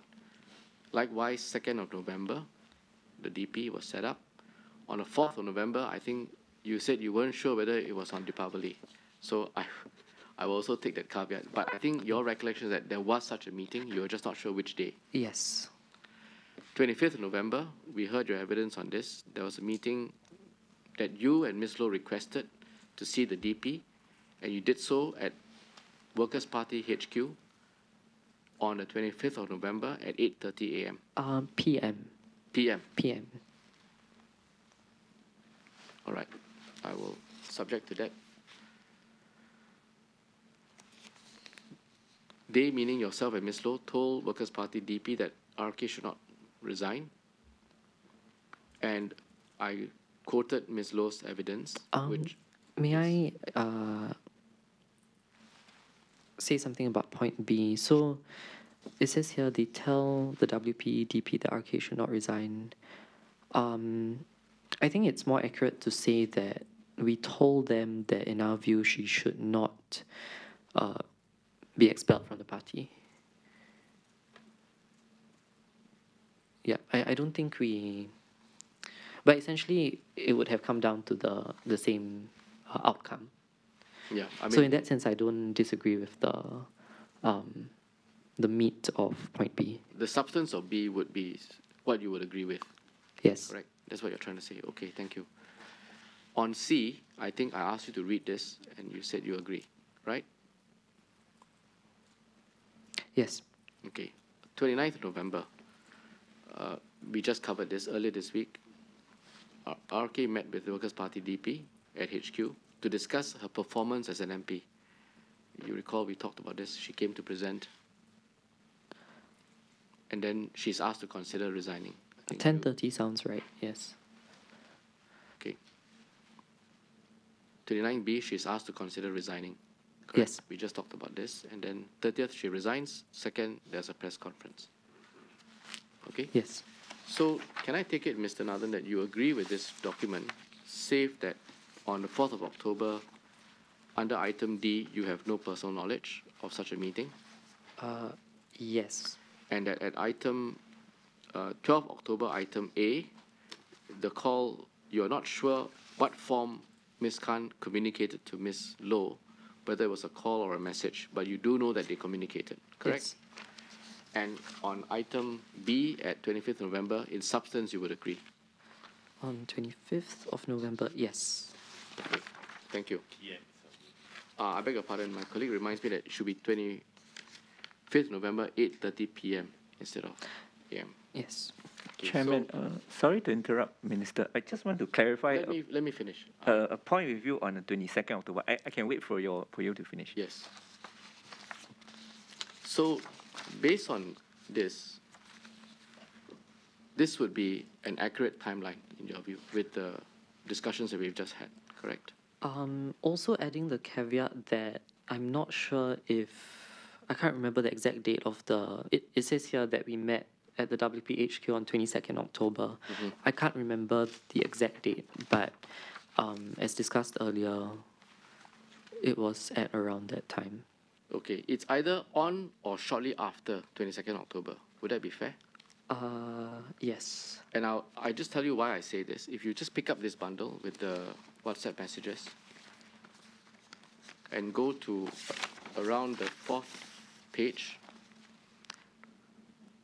you see at the bottom of that page, 22nd October, there's a message between Pritam Singh and Ms. Loh. And uh, on the 22nd of October, there was a message that says change of time, meeting at 11 a.m. Maybe that might have been the next day or the day after. So 23rd, 24th October, perhaps. Would that be fair? Yes, because this screenshot is from the message was from was at 7:30 p.m. Okay, that's So a fair I- point. think yeah, yeah, I agree with that. So shall I say 23rd or 24th October? Um, I Or perhaps we say this shortly after 22nd October. Would that be more accurate? I think the the best way to put it is shortly after um, 7:30 p.m. on 22nd of October. Um, yes, but this is something that I can help to clarify down the road if necessary. Okay, that would be useful. Thank you. Okay, besides what we've just discussed, is there anything else you disagree with on this chronology? uh, no. Okay, all right. Perhaps Mr. Tan can clarify? Oh, uh, Minister, actually, I just want to clarify with you on your description of the 22nd October, and you had put in A, WP had a meeting. I think this is um, isn't.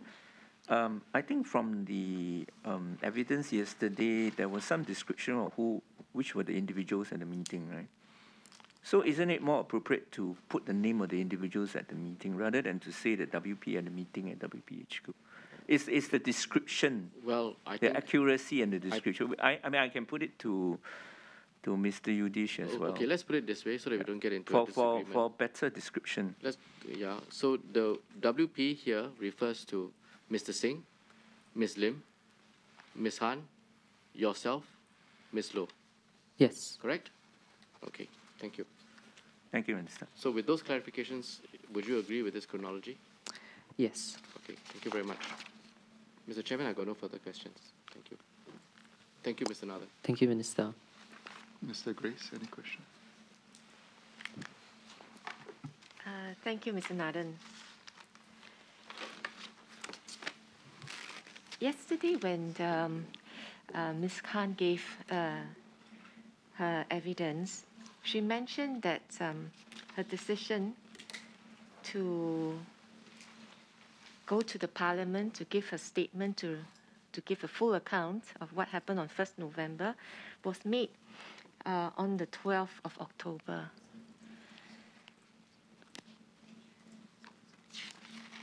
just to recall, uh, somewhere on the 4th, that was when she was asked to give details in the parliament by Minister Shan. And at, at the end of that, that uh, sitting, there was a meeting with Ms. Sylvia Lim, Ms. Pritam Singh at LO's office. She hasn't made up her mind yet. Uh, and um, 7th October, uh, she has received um, email from the police uh, to give details. She hasn't made up her mind yet um, about coming clean to the so-called com- go, going to the um, parliament to give account.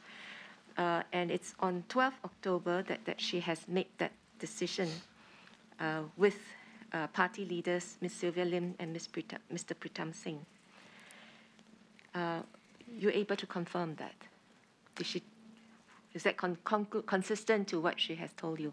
Um, everything in, in what you just described, I find consistent, except I can't confirm the um, the part about 7th October having, I think you mentioned she received um, an email from the police. Did she share with you about having to respond, receiving this email, and having to respond to the police? Um, she did share with us that she received an email from the police. Um, but I think at that point in time, Ms. Khan was essentially also waiting on advice from the higher ups. In other words, the senior party leadership as to how she should respond. Did she give you any inclination that she will go to the parliament on 1st November to make that statement that she did? she did say that um, so I, I don't want to misquote uh, Ms. Khan or the or what she told me the leaders might have said, but my impression was that she or they or all of them had decided that um, going to parliament would have been um, their preferred option as opposed to Is that before or after 12th October meeting that they had? I can't remember. Um, So I 12th believe it October was was- the time when you had a meeting with Miss Loh. I do apologize. It was before the 12th of October because on the 12th of October, um, Ms. Khan had said that the party leaders and she herself had wanted to come clean. Um, may I retract what I just said about um, whether it was before the 12th of October? Because I think now thinking about it, I honestly can't remember whether it was before or after 12th of October. Um, I think we have just gone through the sequence of events. I think it's it's here Um, that she will admit just an A. So nothing in between 4th October and 12th October, right?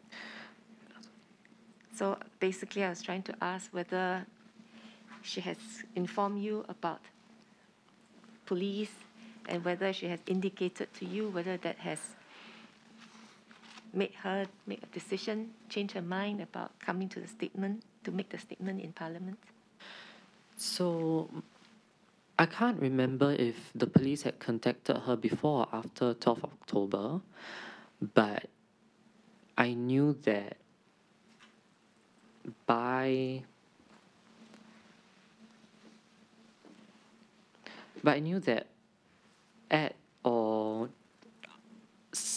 possibly just after 12th October, they had agreed that the preferable thing to do in their view was to come to Parliament instead of attend the police uh, interview or meeting. Did, did Ms. Khan share with you um, about when she confided this to her family besides her husband? She did. She said that she confided after the 12th of October, so in between the 12th of October and the 1st of November, closer to the 1st of November, because she had a great deal of hesitation um, in wanting to, great deal of hesitation in, in um, breaking the news to her parents. So, am I right to describe the event as she has made the decision on 12th October? Thereafter, she informed her family after 12th October. Yes. It's just, uh, I- I'm just trying to understand um, the events so as to get a better position or understanding of um, the statement made by Mr. Pritam Singh in the press that actually the few months lapse from August was actually to give her time to inform her family. Have they, is that, this, is that the reason for her to delay? Or as we have heard, actually the decision was made on 12th October before there was a need to inform. Prior to that, um, the position was to keep the narrative and not to disclose. The critical date was 12th October. I do think that there's some truth to what Mr. Singh said because um, essentially on the 12th of October when we met at his house, um, he did express um, this concern uh, that her family was not aware of what had happened. Did Mr. Pritam Singh express this concern in August when you met?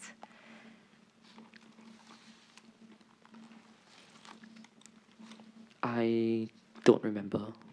So, was it a, a factor as to why the decision was taken only on 12th October? Or I would put it to you that the decision was made on 12th October before they decided that it's time to tell the family. I think it could have been one of the factors, but I am unable to to speak on Mr. Singh's behalf.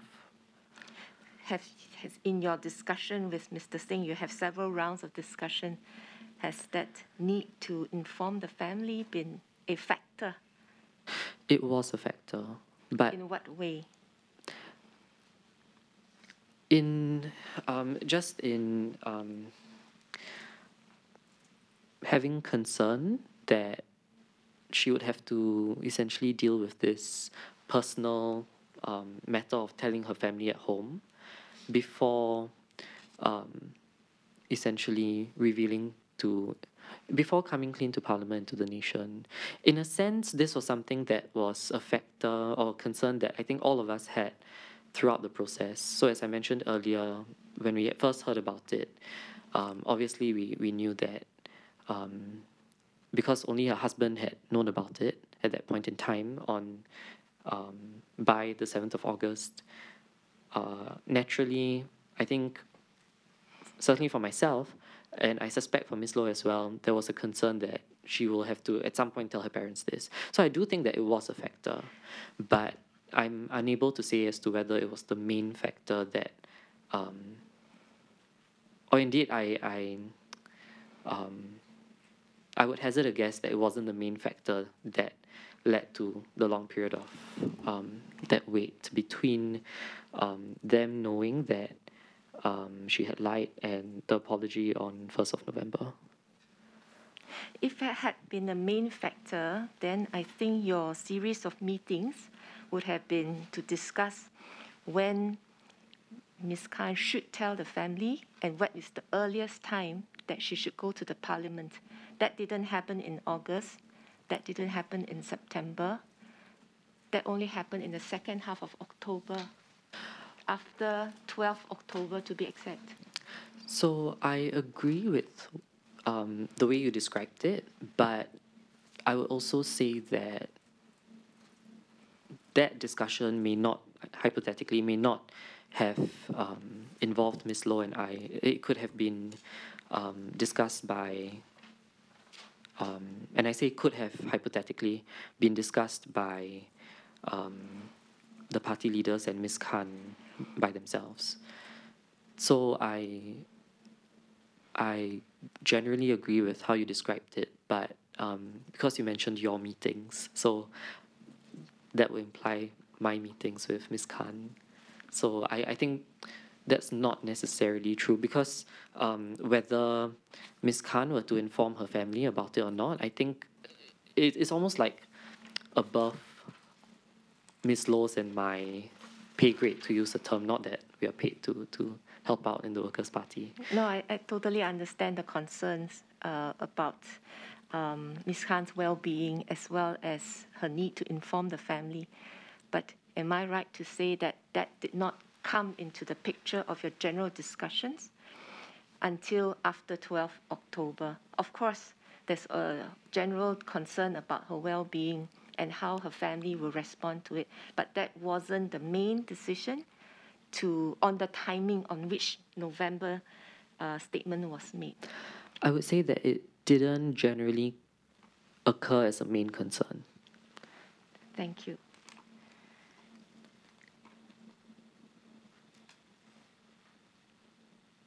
There was uh, also a discussion about um, in Miss. I, I don't have the um, uh, transcript with me, but I think Ms. Khan mentioned something about um, there will be no judgment from Mr. Pritam Singh sometime in uh, August. Uh, no, about I think uh, you mean 3rd 3rd of October. October. Yes. Um, was it just from Ms. Khan herself, or did you also hear this from Mr. Pritam Singh himself? Because from uh, what we were told yesterday by Ms. Loh, that that was a confirmation that Mr. Pritam Singh has also given. That was the understanding she has gotten from Mr. Pritam Singh. So this was something that we heard both from Ms. Khan as well as from Mr. Singh. Can you tell us how did you hear it? and What's the occasion that you have heard it? Ms. Loh and I heard it on the 12th of October when we met with Mr. Singh at his place of residence. Um, and he had expressed to us that regardless of whether she had maintained the line of or the argument of uh, maintaining um, the survivors or the victims um, confidentiality or whether she decided to tell the truth that he would not judge her How did you interpret that? I I thought I mean I thought two things. I think first of all, um, personally, it did sound like he was empathizing with her. Um, I think that's natural for anyone to do. But at the same time, I also thought that it was a bit indecisive. Not a bit indecisive. It was it was rather indecisive. So uh, this was some. What's the context that lead, led to that statement? Was it something did you ask? Was that something that's offered by Mr. Singh? Could you remember? I don't remember what exactly we had been discussing before that, so I I feel I can't give you a factual answer to that question. When Mr. Singh said that, was it to give you um, assurance of a position or to give you an indication of the party leader's position? What context was it? I think it was an indication of his personal position on the matter, but I think that ordinarily um, we took it to mean that there was also the leadership's, the senior leadership's position on the matter. And perhaps that was an assumption on our part, but yes. Thank you. Thank I you. could just build on what um, Mr. Grace Fu just asked you. So essentially, your impression from what Mr. Singh conveyed to you on 12 August uh, suggests 12 October. 12, 12 October uh, would suggest that, um, as opposed to what was said in the press statement, uh, the press conference that was released and as read by Mr. Tong earlier, that an order was given for her to come clean. That wasn't the impression that you got from that conversation with him. That was there any impression that that would have been a direction given to her to come clean? No. what and so perhaps if you could explain to us what would your impression be that actually to continue on the present trajectory of maintaining the narrative and that they wouldn't judge her on that if she had continued to do so I think that, I mean, just taking what Mr. Singh had told Ms. Loh and I um, in terms of its ordinary meaning, I think that if you tell me that I'm not going to judge you if you do A or B, then it simply means that I'm not, I'm neither instructing you to do A or B, but at the same time, I'm also not, um, at the same time, you're free to do what you certainly what it would mean is that there wasn't a direction given to her to take a particular uh, to take the to take the uh, action of confessing and coming clean Yes. as uh, sort of the statement made uh, according to the CNA article that he said and that he couldn't understand why she didn't respond and she had to account for that Yes. Okay. Further questions by other members? Zaki? Uh, Dennis, anything? Don? I do, sorry. Uh, So after Don. Mr. Nathan. So just now you mentioned that um, when Ms. Khan received um, the invitation from police to meet up, you mentioned that um, she will respond and that is based on how the party leadership will have guided her. So based on your understanding of Ms. Khan, do you think she would have accepted the meeting invite should the party leadership had guided her to do so?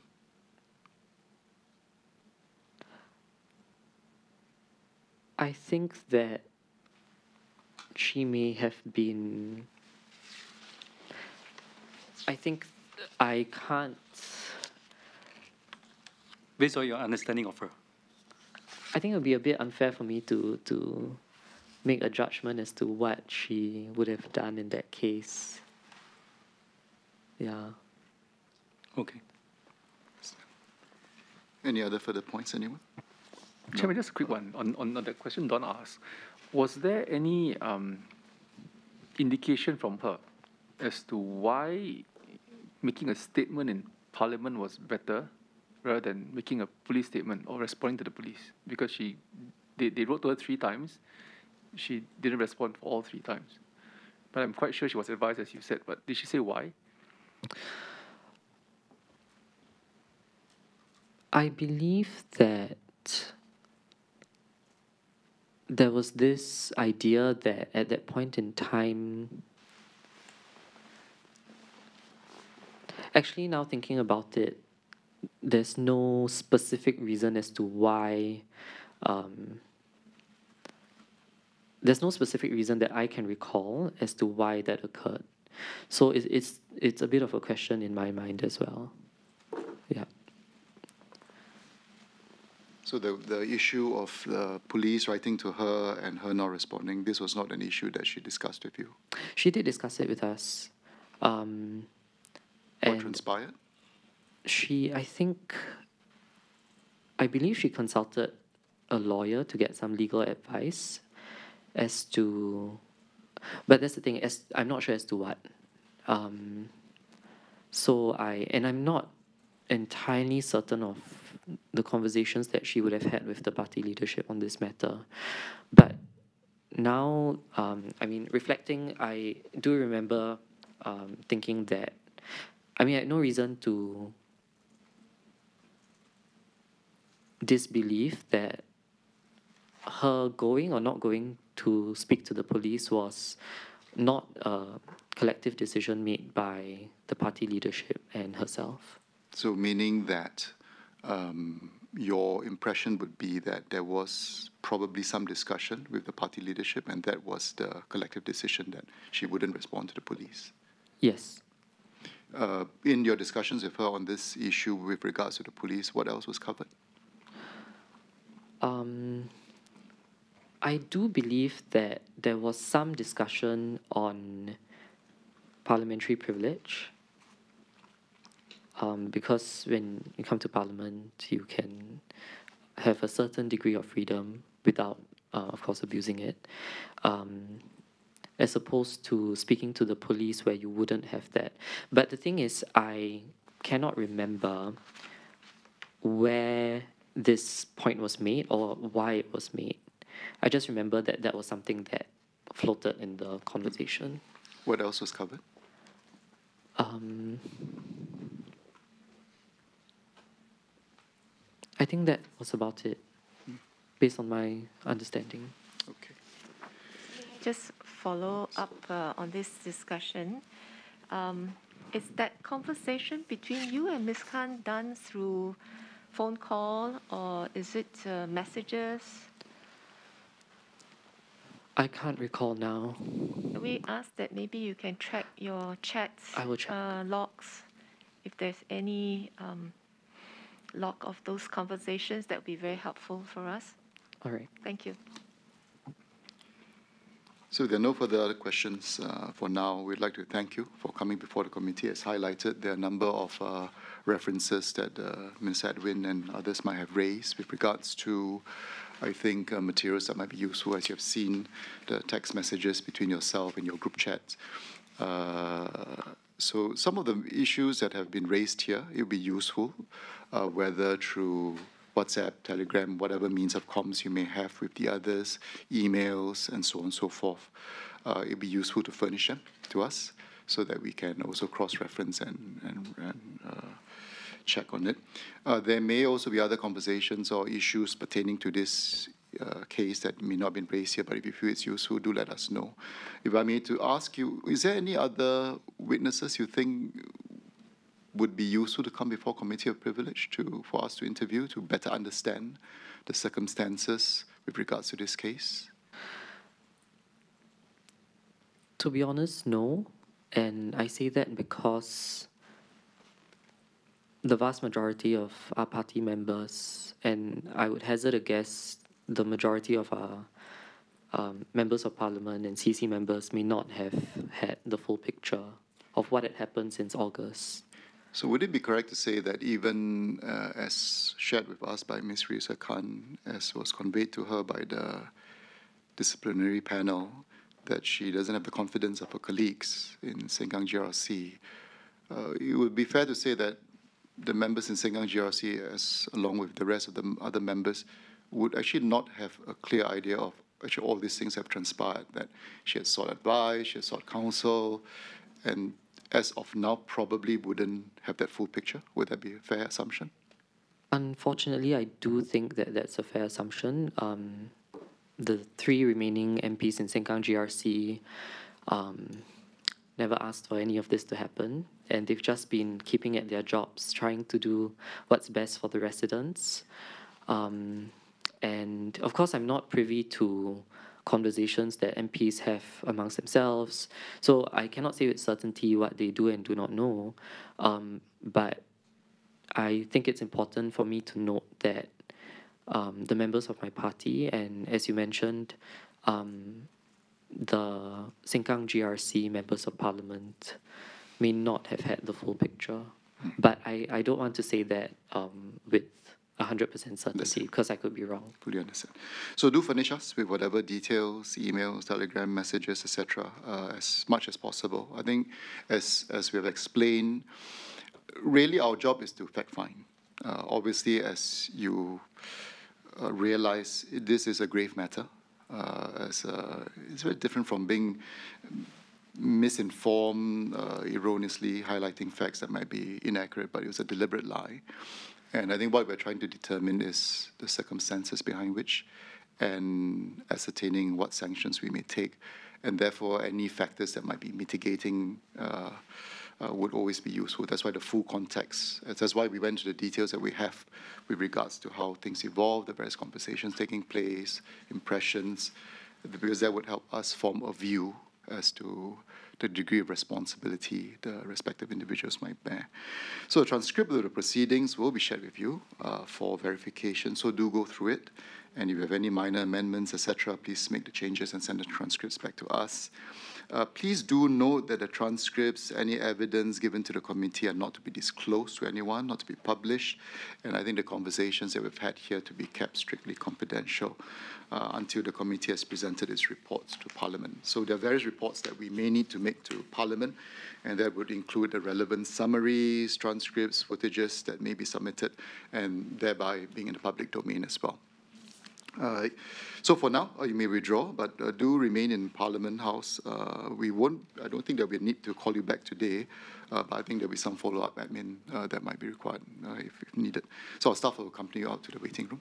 All right. Mr. Chairman, I just want to um, make one clarification, which is that earlier on we had asked you for a variety of documents and uh, chats and so on, which you say you will check. So rather than go back and forth, I just thought I'll clarify with you what we are after. You saw some of the examples we, we showed you earlier, but what we had told uh, previous witnesses was that it's not sufficient to just give us that particular message. It's we need to see the trail.